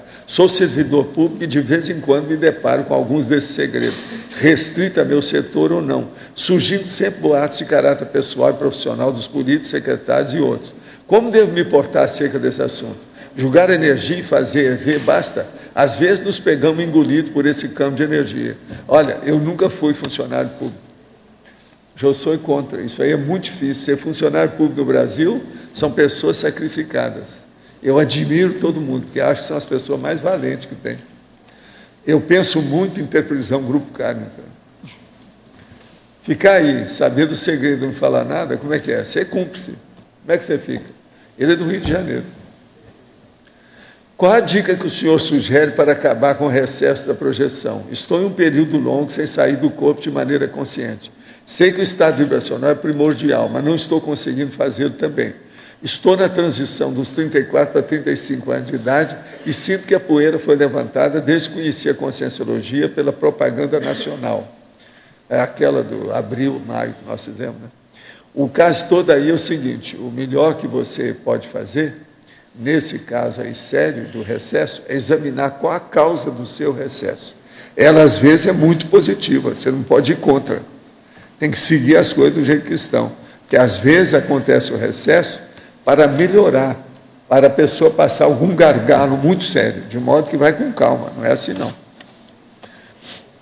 É, no livro Sexo e Destino, psicografado pelo senhor e pelo Chico Xavier, no capítulo 13, o senhor Nemésio, após sofrer um derrame, tem seu processo de dessoma assustado por ordens superiores extrafísicas. Foram-lhe concedidos os benefícios da enfermidade e as vantagens da dor. Ele ficou vegetando, abandonado numa cama. Como seria o processo de evolução uma situação dessa? Não, essas coisas podem acontecer, depende do grupo e o que, que acontece. Precisa saber qual a causa, para onde foi isso, qual o resultado daquilo. Isso aí tudo influi nas pessoas. Uma pessoa doente, às vezes, muda o destino de um grupo inteiro. Qual é o perfil do político ideal? Existe na história política do Brasil político que tiver a ética como princípio de conduta na prática Além da biografia do JK, de autoria do Alexandre Donato, qual outra biografia seria interessante estudar? Olha, seria bom ele ver o nosso amigo lá do Rio Grande do Sul. É? Alberto Pasqualini. Seria bom você ler alguma coisa sobre ele. Olha na internet. Pasqualini, que é o nome dele. Às vezes vai te dar Professor, mais alguma ideia. Esse deputado federal Roguf, ele não é uma figura, quer dizer, ele foi Quem deputado, é o... É, Alberto Rogufi. Ele é deputado federal pelo é, PDT Eu vi agora. alguma coisa dele, mas eu ainda não li as coisas todas. Pois é. é ainda não vi. Aquele é que está abrindo mão da, de todas as benesses do roubo de Brasília. Professor, dizer, esse parece ser bom. Eu, eu, é, a partir da fala do nosso colega lá, que falou da, da- de Brasília, é, e também ouvindo que a professora Malo colocou ainda há pouco, para a gente não fazer só reclamação, mas aí a missão de fazer é, é, pesquisa, né? É, tem um livro do Odir Macedo que se chama O Poder de Deus. Deus, os cristãos e a política. Se a gente fizer um estudo em qualquer estado brasileiro e também no- em Brasília, no- tanto na Câmara Federal como no Senado, é, há um crescendo, pouco a pouco, de deputados, senadores, que são representantes da religião protestante. É. Aqui tem um deputado que já está na quarta legislatura, É. o deputado dos evangélicos. Pouco a pouco, eles estão fazendo isso, eles têm candidato para presidente da República, então, é, a gente Eles também podia tomar dar um o estudo. governo, faz muitos Isso. anos. Você lembra, lá em Brasília, que a gente já falava nisso, naquela época lá do supermercado, aquele shopping center que eu falei, que você falou? A turma naquela época já estava tomando conta de Brasília. É, negócio sério. Isso é antigo. Eu quero lembrar para vocês ah, o lançamento da pedra fundamental da Ágora, que vai ser hoje na- lá às 14h30 no discernimento. É logo que acaba aqui a, a tertura. Na sequência, haverá a reunião do Conselho dos 500. Os eventos são abertos, todos estão convidados. Agora, aqui tem o primeiro simpósio internacional de democracia direta. Total de participantes, 102 pessoas. Sabe? É, palestrantes, 14 pessoas. É, estados, oito estados. Cidade, 16 estados. 16 cidades. Tem uma listagem da turma toda. Monitores do staff, 15 pessoas que trabalharam. De modo que vocês aí, por aí, por aí a gente vê. Uma outra coisa, mais uma vez, parabéns pelas, para as mulheres. 102 pessoas, eram 47 homens, 55 mulheres. Quer dizer, as mulheres estão mais politizadas do que os homens. Isso é impressionante a gente falar aqui. Fora de série isso aí. É, minhas mostras, como eu chamo, não é isso? Elas estão caminhando. Então, dentro desse nosso partido político feminino, ele está na ponta. Né? Aparecer num evento desse, sobre democracia direta, tem mais mulher do que homem? Como é que é isso? É, dois países que estavam aí participando. Né? Professor Valdo, aqui no ar. Sim. É, dentro desse clima de apatia, o que, que a gente pode falar com o jovem, assim, com a criança, para ajudar na consciência política dela?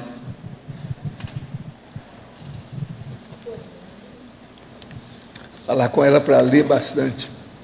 Ensinar a leiturologia, a leiturofilia. Quanto mais a pessoa lê, mais ela vai ter ideia. E explicar o que é filosofia, o que é politicologia, o que é ética dentro da filosofia. E dizer o que é a política na vida humana. Expor que aquilo é importante. Muitos desses grandes políticos da história nasceram como políticos devido ao processo dos preceptores. São os preceptores é que ajudaram a vida da pessoa, colocou a pessoa mais ou menos é, elucidada a respeito da condição política da vida. De modo que o processo é informar, clarear e fazer com que a pessoa fique é, tendente à leiturofilia. Ela lê muito, senão não adianta.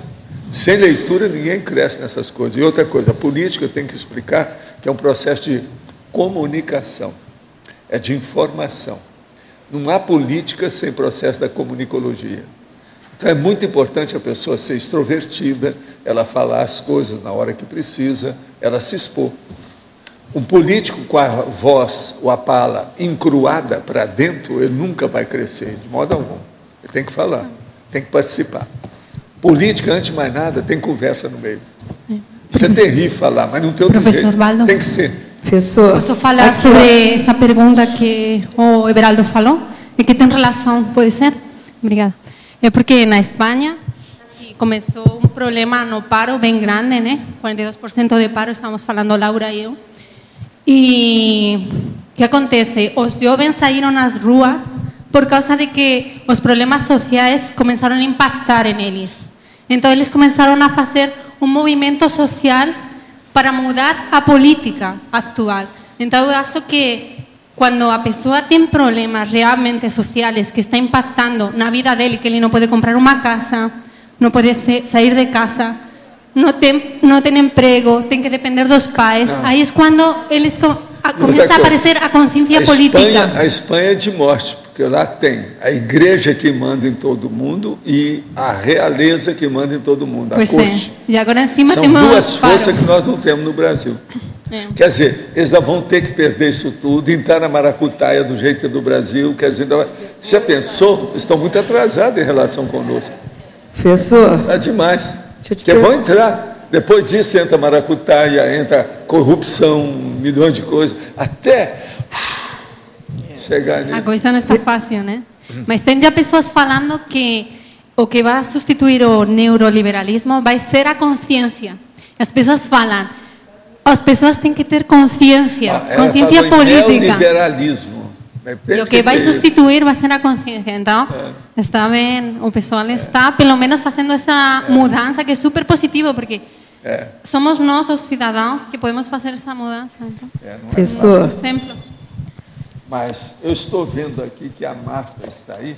Eu tenho umas coisas aqui para dar para a Marta, muito sérias. Já estão aqui comigo há algum tempo.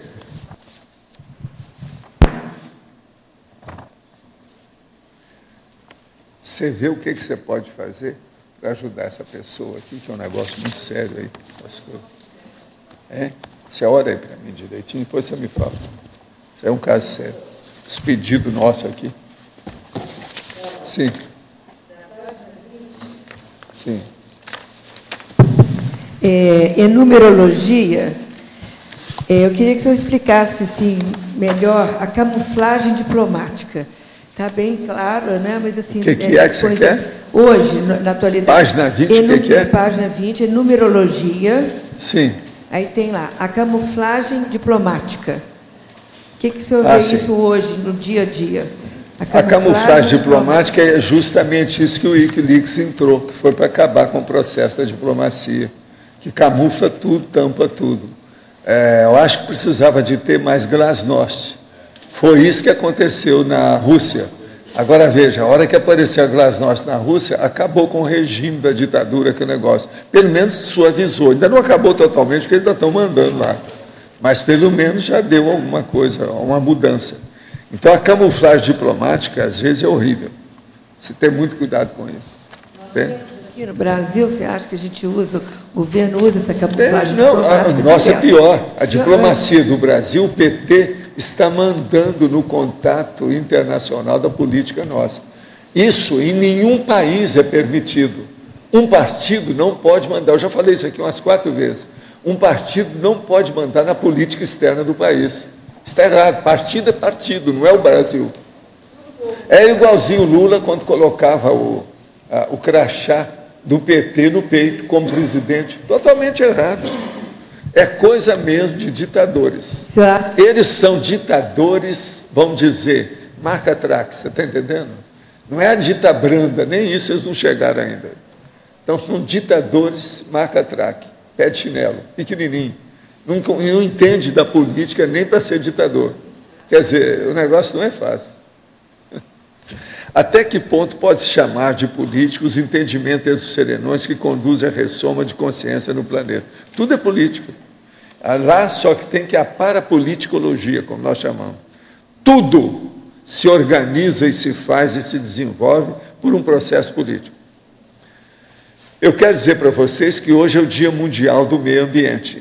E o programa Amigos da Enciclopédia alcançou a meta de 400 cotas e 375 amigos associados. Então, eu quero dar uma salva de palmas para vocês.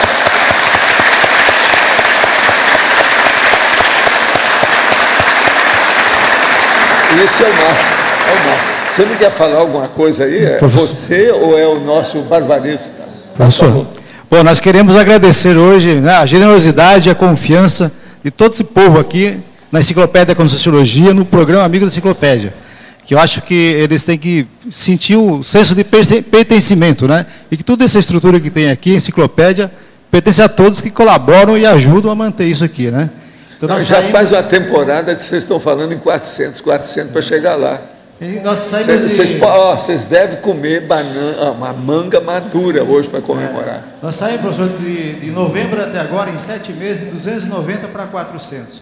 Então o pessoal está, de fato, confiando em nós, no trabalho aqui, e está ajudando bastante a manter tudo isso aqui. Então, É, dia, agora também nós já temos 86 pessoas comigo como verbetógrafo. Então é lógico que tem que ter amigo. Com 86 autores, qual é o livro do Brasil que tem 87 autores? Você sabe, conhece algum? Outra coisa, está com 9 mil páginas, 10 volumes de 900 páginas cada um. Qualquer hora nós vamos dar na cabeça de publicar os 10 de novo. Agora, Valdo, a Nós gente, publicamos oito, mas já tem mais dois para pôr ali. a gente estende o convite também. É. Não, se demorar mais, você sabe. Não demora, não. Porque agora a culpa não é minha mais. A culpa é de um monte de gente aqui. Vai ampliar tudo. Outra coisa, estão fazendo verbete de nove páginas, dez páginas. Como é que fica? Isso não aumenta mais ainda, né? A gente Outra coisa, eu quero lembrar para vocês que os próximos, a hora que acabar esse que eu estou mostrando, são mais 20. Vocês podem aguardar aí. A gente estende o convite também para os empresários, as pessoas que têm empresas, que têm interesse em patrocinar a tertúlia. Existe uma, uma parte do programa que é a empresa amiga da enciclopédia, que patrocina aqui a tertúlia. E aí o empresário coloca a logomarca dele no canal de transmissão da tertúlia. E se vincula dentro do programa Amigos da Enciclopédia. E outra coisa que nós é, é, assim, discutimos nesse, nesse tempo todo é a questão do amigo da enciclopédia também envolver as pessoas que escrevem o verbete. Né, não só. É uma boa, uma boa. Então, assim, é uma Aí tem um monte, aí você já tem uma listagem. É. 86 pessoas até o momento.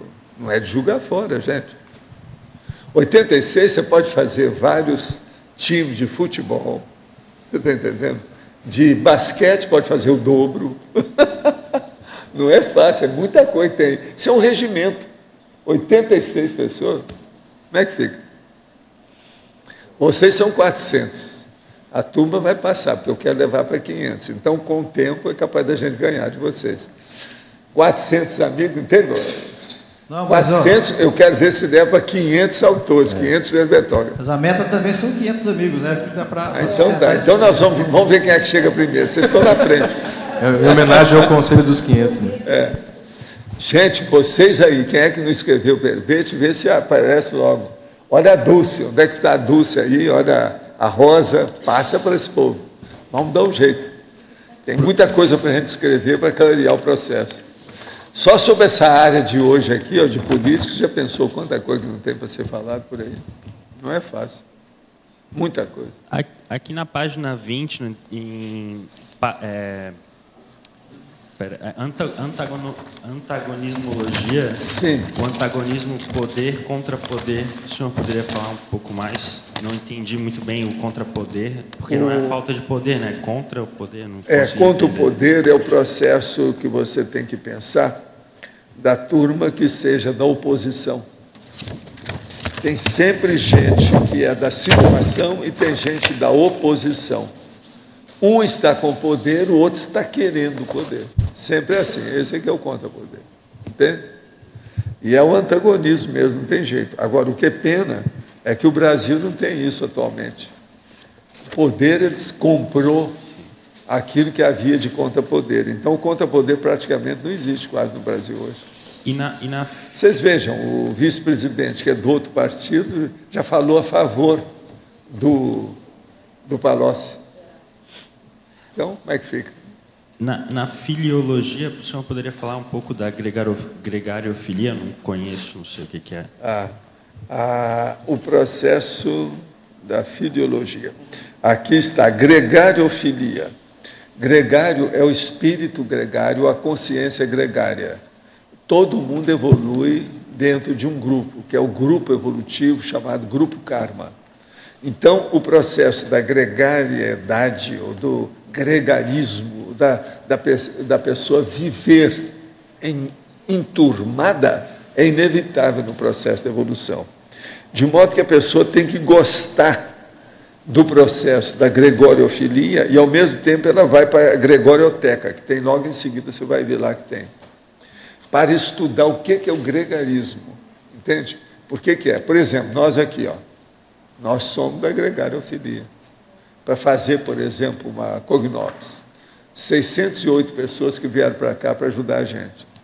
É, 86 que já estão trabalhando nesse livro.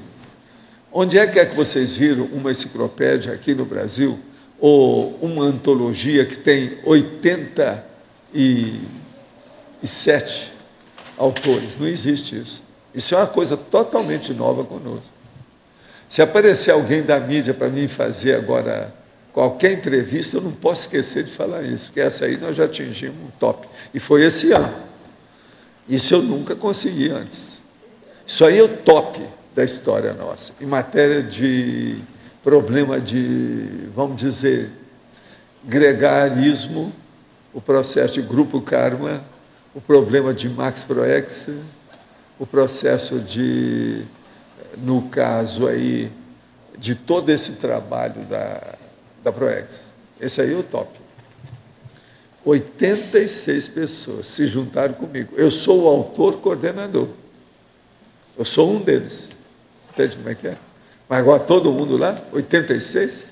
Outra coisa, 120 verbetes. 120 verbetes, daqui a pouco, só de pegar esses que já fizeram, já vão dar um dos volumes da enciclopédia, já é dos outros. Eu não escrevi. Quer dizer, eu tenho que começar a fazer uns verbetes para não ficar muito atrás. Né? Professor Valdo. Pois é. é. Professor Valdo. Sim. Por gentileza, na página 20, antagonismologia, o Sim. antagonismo, relação transformadora, e interprisão grupo kármica. Você pode ampliar isso em qual sentido? A relação transformadora e a interprisão grupo kármica é essa? Sim. O caso todo é o seguinte: o problema todo é a relação transformadora da pessoa. Então, por exemplo, a mudança que ela tem, o que, que é que ela tem que fazer? Aquilo que ela atinge, qual o objetivo que ela se dedica? A proex dela? dentro da Proex, dentro da atividade dela, o processo com o povo, o contato com a gente, tá. o problema da socinha, Sociedade tá. Intrafísica. O papel dela. E ela vê isso, que é, às vezes, se ela não tiver cuidado, isso é positivo. Então, sendo positivo, é o contrário da interpretação grupo kármica. Vai haver uma abertura grupo kármica com ela. Tá. Ela entra na policarmalidade. Então, tem que fazer a transformação. Transformação é aquilo que nós chamamos de ressex, reciclagem existencial. É isso que as pessoas precisam. Então, a, a questão da interprisão grupo kármica é ampla. Ela é ampla, ela pega todo mundo, né, se não tiver cuidado. Tá. E outra coisa, dá mais trabalho. Quanto mais amplo seja o erro, pior é o processo. Tá. Os agravantes aumentam. Não uhum. é atenuante, é agravante. Uhum. Que aumenta. Aí, Aquele então... cara lá da Bósnia, lá, que eles estão tentando ver se leva o cara para a prisão perpétua. E ele está falando que está doente. O cara é um facínora, quer dizer, ele fez a limpeza étnica. É... Isso, isso é a pior coisa que tem, é genocídio. Uhum. Esse cara é aquilo que a gente fala, eu não desejaria ser uma pulga na psicosfera dele. Não dá. É um Grande, dois grandes fatores aí, então, é o autodiscernimento e a autolucidez. Então, é, e a prioridade tá? que a pessoa a está dando para o alto esforço claro. dela. Tá, obrigada. Em sua opinião, necessitamos de uma personalidade com autoridade moral, max dissidente do meio político, para publicar sua mega GESCOM nos moldes que realizou o professor Marcelo da Luz no meio religioso? É, seria o ideal, né? Não há dúvida. Por exemplo, o nosso amigo Marcelo da Luz publicou no, na área religiosa. Na área do orientalismo foi o nosso amigo Jean-Pierre Bastiu. No meu caso, em matéria de religião espírita, fui eu mesmo que publiquei.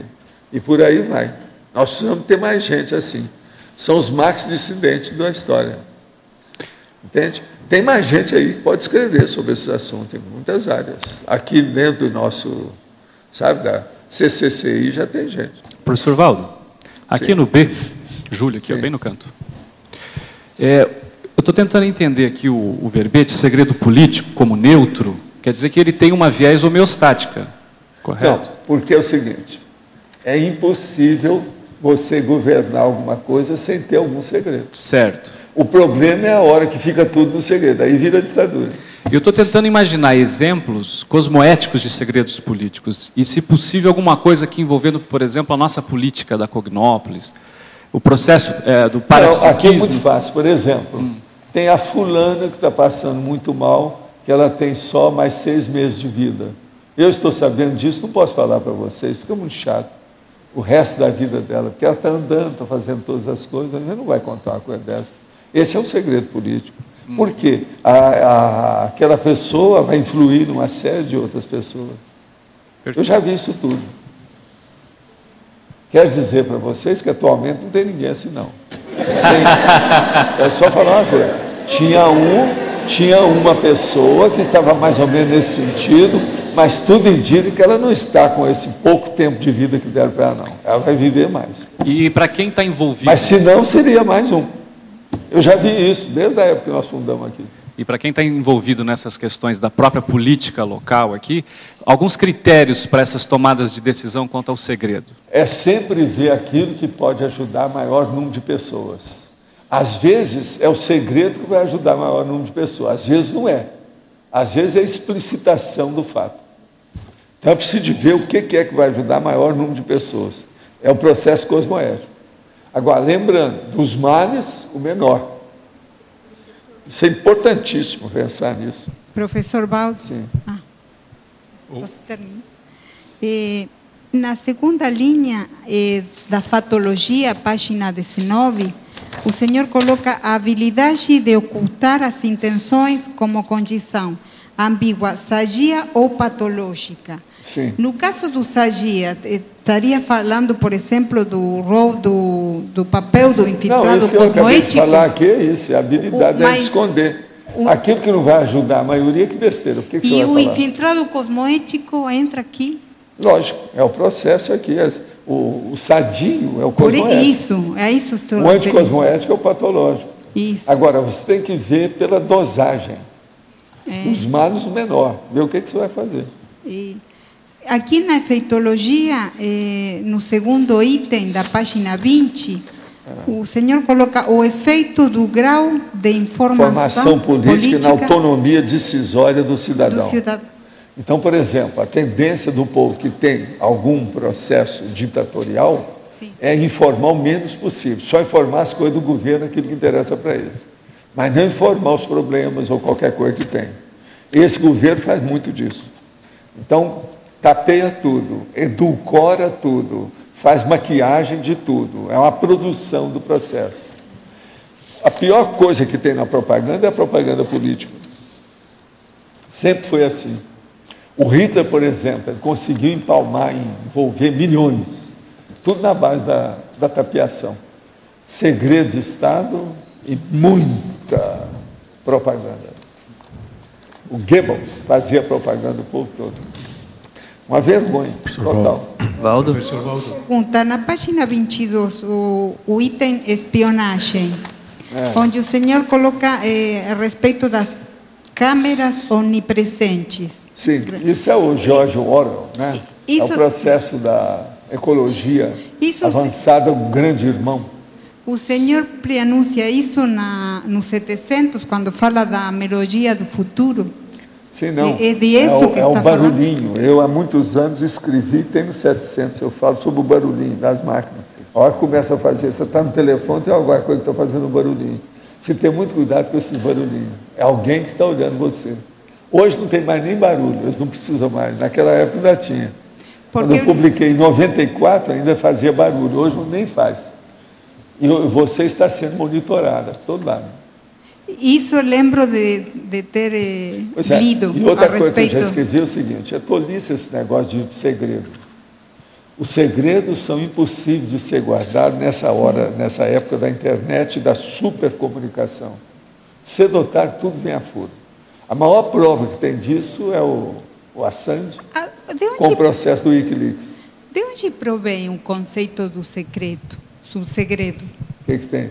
De onde provém esse, Ah. essa ideia do, da existência do segredo? Não, às vezes Porque- tem gente, tem gente que não deve saber de certas coisas. Uma pessoa está muito doente é, e tem a mãe. A mãe é doente, está muito frágil. Então, faz o exame dessa moça, que é a filha dela. Às vezes não é bom contar para ela o que está se passando. É um segredo. Então, tem segredo, você não pode tirar o corpo fora. Tem que enfrentar. É em favor do- das pessoas. Tem que pensar o nível que é. Agora, na política, há uma exacerbação, um exagero, um excesso. Eles fazem tudo para cobertar as maracutaias. Eu pergunto isso porque o senhor coloca o ato de todo segredo ten- tender a ser revelado. Sim, Então, é é inevitável. postergação, mas é não é segredo. tarde. Deve-se de ver. Segredo já nasceu natimorto. Por isso, é, é uma falácia. Uma outra coisa, quando alguém quer falar uma coisa que é segredo para você, fala assim, não fala para mim porque eu não tenho capacidade de guardar segredo. Várias pessoas já falei isso na minha vida. Não fala para mim porque eu não aguento guardar segredo. Eu tenho uma coisa, coça dentro de mim. Da gastura, eu fico com streamlink. É uma idiosincrasia, é intolerância alimentar. Tem alguma coisa comigo, eu não aguento. Então, para a pessoa evitar. Não me conte segredo. Porque a vezes tem a ver com algo anticosmoético Não, eu não também. quero né? ser cúmplice das bobagens que o povo está fazendo. Professor Waldo. Valdo, é, o que que, o que, que você acha da ideia de vereador voluntário, que eu já vi rolando assim essa, esse conceito, de vereador voluntário, que, é, por exemplo, de- as bases elegeriam, mas aquele, aquela dinheirama que hoje o, o município gasta com o vereador, ele, esse dinheirama iria para as bases, para as, as Sim, já associações de teve gente base. já fez isso no Brasil, Tem, várias já? vezes já. Agora, geralmente ele é mal visto, geralmente ele fica isolado, eles dão um gelo em cima dele, ele não faz nada. Esse cara gelo, aí né? que está Na fazendo geladeira. isso, vai acontecer isso com ele, inevitavelmente, se já não aconteceu. Possivelmente já aconteceu. O Regufe lá, né? É inevitável. Escuta, você vai lá hoje, eu vou com você. tá? Tinha outra questão, só, é só para a título de curiosidade. Hoje a mídia já está falando, em vez de partidos aliados, fala de partidos alugados. É. Aí, conseguiram então falar alguma coisa, alguma coisa. Porque isso aí é uma tapiação.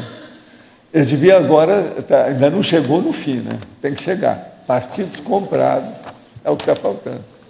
Se de mudar aí essa classificação e essa adjetivação, essa qualificação, né? Precisa disso. Não há dúvida que é a hora. Qual é o país nesse momento onde a política combate as corrupções e a transparência está mais avançada? Qual deve ser o nosso modelo de estudo? Olha, é preciso você ver a listagem que tem de autocorrupção internacional. O Brasil está nas piores, né, nessa lista. E tem um monte de país que está na frente. Passaremos por um Estado mundial, isso não é mais complicado do que o governo locais? Sim. A democracia é sempre o melhor? A democracia direta é, até tudo que tem, que já existiu até o momento. Há ocasiões onde um déspota esclarecido foi o melhor que pode acontecer para um determinado povo. Olha, isso aí é frase que consola, mas não é o ideal, isso é tapiação. E sobre os segredos, esse acidente fatal do JK, justamente quando estava iniciando o processo de abertura, foi muito oportuno. Não, é, eles acabaram com ele. Aqui tem um monte que foi matado, tudo calado. Como se pode ter acesso aos critérios para a ressoma das consciências que não fizeram o curso intermissivo da conscienciologia? É estudar a enciclopédia da conscienciologia que 87 pessoas estão fazendo até o momento.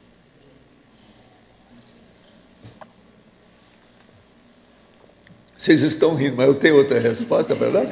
Às vezes vocês têm uma melhor aí, me dão. Eu acho que não tem, né? É essa. Vou ler de novo. Como se pode ter acesso aos critérios para a ressoma das consciências que não fizeram o curso intensivo da Conscienciologia? Se a gente pudesse dar aqueles oito volumes só para essas consciências todas que vêm, eles iam ganhar com isso. Eles estão vindo aqui porque não tem os livros. Né? Se tivesse, não precisava de vir. É Pronto. Isso? A pessoa pode, é, o conceito de marx dissidência é, diz respeito à, à vida atual. Né? A pessoa está num grupo e amplia a visão e parte para uma, uma, uma é. nova etapa. Esse conceito de marx dissidência pode ter relação com a vida anterior, ou seja... É lógico, é o temperamento da pessoa. É marx dissidência ideológica, que geralmente nós falamos. Mas é um processo ele, de temperamento. Ele não saiu do grupo É o problema vida. político da pessoa, é o temperamento dela. O que, que você quer saber? Não, eu quero saber é o, o seguinte: o conceito de marx dissidência é, é da vida atual. A pessoa está num grupo. Não é da vida atual. É do dia que você está estudando com a pessoa. Interessa nessa vida ou onde for. É do dia. Aquilo é o temperamento da pessoa que vem do passado dela. E aí, ah, entendi. Então não é precisa necessariamente estar é, num grupo nessa vida. Por exemplo, eu sou marx dissidência do processo do Espiritismo. Mas não foi só disso. Eu fiz uma opção de marx dissidência dentro das coisas que eu fiz. Fiz marx dissidência com a academia, a universidade, as coisas todas, caí fora de lá. Fiz marx dissidência das coisas que eu mesmo criei. Eu não fiquei em Uberaba, no bairro que eu criei. Marx dissidência. Outra coisa, Chico Xavier. Chico Xavier foi marx dissidente. Foi marx dissidente da cidade dele, lá de Pedro Leopoldo, da União Espírita Mineira. Ele deixou aquilo tudo lá em Belo Horizonte. Outra coisa, foi marco de incidência do centro espírita que nós criamos para ele, que era a Comunhão Espírita Cristã, e foi arranjar um centro da prece para ele poder ficar mais folgado lá, para não entrar, porque a comunhão era muito grande. Está entendendo? Para ele. Ele queria uma coisa mais pessoal, por causa da santidade. Então, por exemplo, trabalho do santo. se a pessoa. Ela então, veja, marx incidência tem tudo quanto é, é. jeito. Agora, eu digo para você, até que ponto que a hora que ele deixou a comunhão espírita cristã e foi para o centro da prece, ele foi mini dissidente. Então, a hora que ele deixou Pedro Leopoldo foi para Uberaba, ele foi marxista dissidente. Então, olha só, se é uma pessoa, por exemplo, numa vida, ela não entrou na igreja, não entrou no movimento religioso, mas ela tem o holopensene religioso de uma vida anterior, Sim. e nessa vida ela consegue superar esse holopensene religioso, então ela fez a marx dissidência do processo religioso. Sim, não, isso aí depende do que é. Mas agora o problema é ver no momento. Uma pessoa pode ser marx dissidente hoje, mini amanhã, tornar-se marx, isso depende do que é, porque o processo é ideológico. E são os fatos da própria vida, o que, é que ela faz. Eu estou mostrando o caso de Chico Xavier, porque é óbvio. Isso ninguém examinou até hoje. Que Chico Xavier é santo, ninguém pode falar uma coisa dessa. Mas eu sei que é, porque eu fiz o um negócio lá, vi as consequências depois e vi que ele estava errando. Que lá é errado. Agora, ele fez isso por causa de Eurípides, que fez força lá para ele fazer, por causa de Eurípides que queria dinheiro. O problema é esse. Na comunhão não tinha jeito de arranjar dinheiro. Agora, a hora que fez o espírito lá, o, Centro Espírita da Prece, ele pôde fazer. O Chico, então, anuiu porque não tinha outro jeito. Estava preso dentro desse processo. Você entende? Eu vejo, estou vendo tudo isso aí, igual o, os nossos amigos, igual o enumerador, eu estou vendo como consegue esse processo de fora. Dá até pena. Mas é de pensar. Eu lembro quando o Chico saiu e fez o, eh, da prece, vocês, dá até pena. A influência de tudo isso aí. E ó, os anos se passaram, e já tem 45 anos lá, as coisas todas que eu deixei, tudo aconteceu do jeito que eu falei. A gente já esperava isso tudo. Dá pena. Agora, a natureza humana, gente, não falha. É difícil mudar o temperamento do povo. Então, quando é uma equipe mafiosa, o negócio é pior ainda. Onde é que tem mais máfia? Na religião. A, a política, ela tem insida nela o segredo?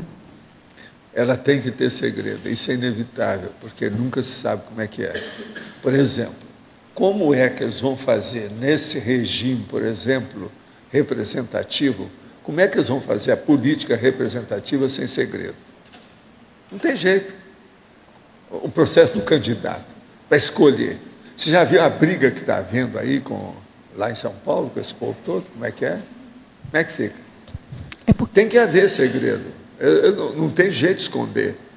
Agora, o processo é a hora que esse segredo fica exorbitante, ele fica dominando. Aí já vira uma ditadura da história. Aí é o George Orwell, 1984, é o grande irmão. É, porque assim, tem dois, a frase enfática aqui, quando é. eu leio, me parece que assim, ó, é, a, a, maioria dos segredos, então, é para a vivência cosmoética. Pois é, mas é, falta é justamente isso aqui é o resumo.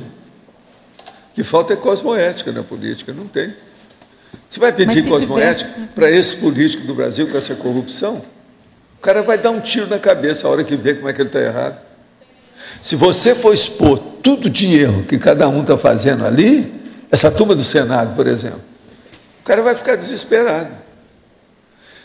Eu desejaria, uma vez a pessoa perguntou, além desse negócio de testosterona lá em, em Brasília, uma coisa que seria o máximo, era pegar um político ou outro assim e fazer uma projeção vexaminosa para ele. Ele vê a besteira que ele está fazendo, mas não pode fazer isso. Isso é estúpido evolutivo. É, não, a minha pergunta é assim, ó, é porque se o segredo é, é da causa em si da, da política, é da causa em si, ou se é da imaturidade da gente. Não, não tem Por jeito. Aqui, ó, presta atenção. Política é um processo coletivo, ou grupal, gregário, sociológico. Tá certo?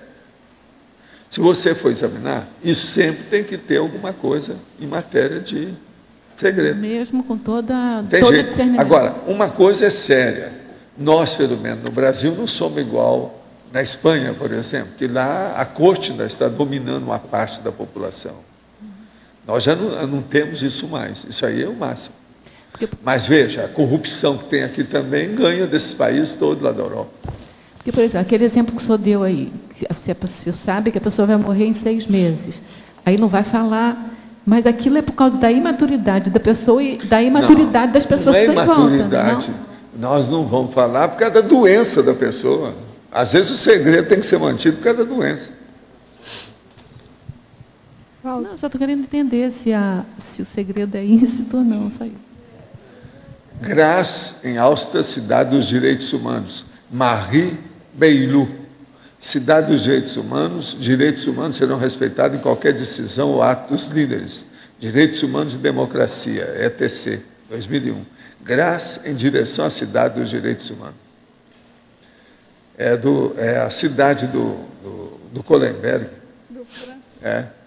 É a cidade do Colenberg. É. Pois é, é, tem 10 anos. Isso é na Áustria tem 10 anos que foi aberto esse movimento lá e ela foi considerada a cidade dos direitos humanos. Eu estou fazendo uma pesquisa sobre a torre que a gente vai fazer uma exposição. Oi. É, eu estou fazendo uma pesquisa sobre a torre que a gente vai fazer uma exposição lá. Ah.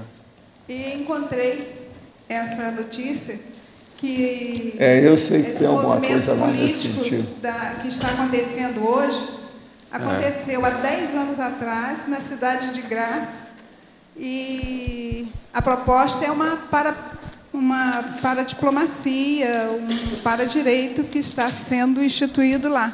E ela já é reconhecida como a primeira cidade dos direitos humanos na Europa. É, isso é bacana. Uma, uma sincronia muito grande. Vamos ver o que, que vai dar, né? É. Dá lá para ela. Obrigado. Os nossos comerciais, então, por favor. Obrigado. As pontuações de hoje: 131 assinaturas no livro de presença, 27 perguntas presenciais, 18 perguntas online, 30 votos presenciais e 6 votos online.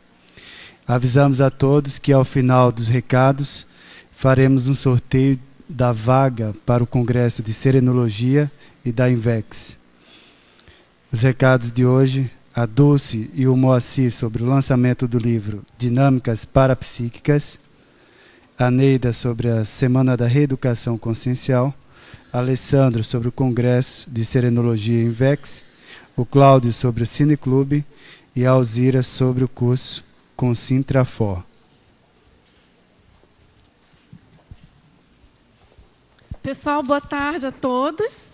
É, em nome da Editares, eu gostaria de convidá-los com grande satisfação para o lançamento do livro do professor Moacir e Rosemary Salles. O, o título do livro é Dinâmicas Parapsíquicas e o lançamento vai ser no dia 11 de junho, no sábado próximo, é, e será às 20 horas no discernimento.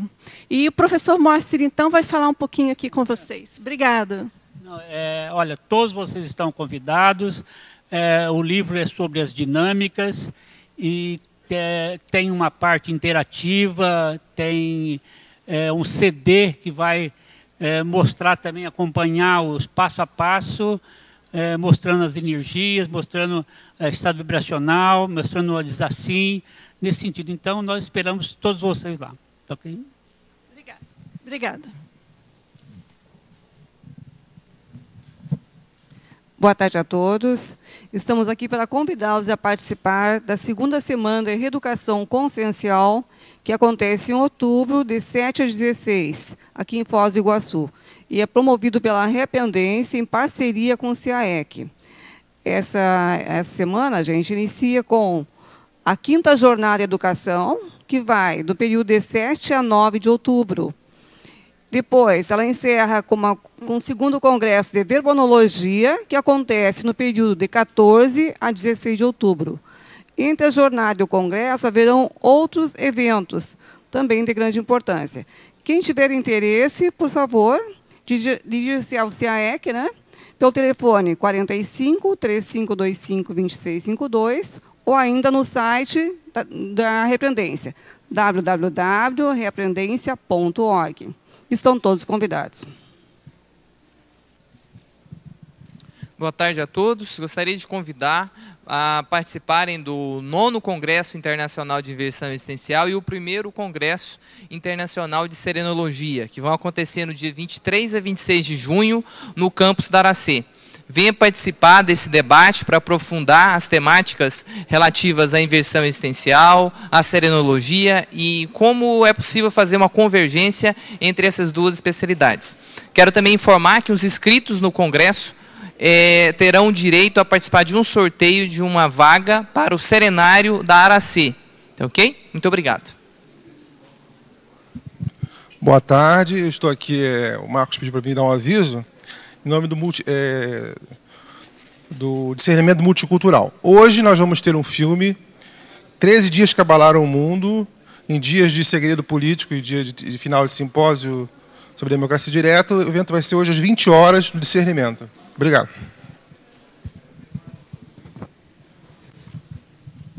Boa tarde. Nosso convite hoje são para todas aquelas pessoas que gostariam ou querem identificar qual é o seu trafor marcante. A Consus disponibiliza esse curso nos dias 1, 2 e 3 de julho, sendo sexta-feira à noite, sábado o dia inteiro e domingo até o meio-dia. Este curso não tem pré-requisito. O pré-requisito necessário é a vontade de querer identificar o seu trafor tendo um maior objetivo, a autoconscientização da responsabilidade evolutiva. Qual é o trafor que alavanca a sua PROEX? Maiores informações e inscrições na recepção do CAEC. Faremos agora o sorteio. Pessoal, estamos aqui para fazer o sorteio do nono Congresso Internacional de Inversão Existencial e primeiro Congresso Internacional de Serenologia, que vai ser no campus de Aracén, Espírito Santo. Então, estão participando do sorteio pessoas que colocaram seu nome antes de entrar na tertulia e também teletertulianos, tá? que enviaram um e-mail no cursos.simbexis.org. Então, Alexandro, pode, por favor, pegar um... Oi, Roberto. Ah, melhor Roberto, que é mais... Obrigada. Número 18. Mera Silde. Parabéns, Mera Silde. Sim, está aí. Então ganhou uma vaga gratuita, tá? Esperamos lá você. Obrigada, tá, pessoal? E para amanhã teremos o verbete Ideia Impactante, a especialidade para pesquisologia. Obrigado pela presença de todos e até amanhã.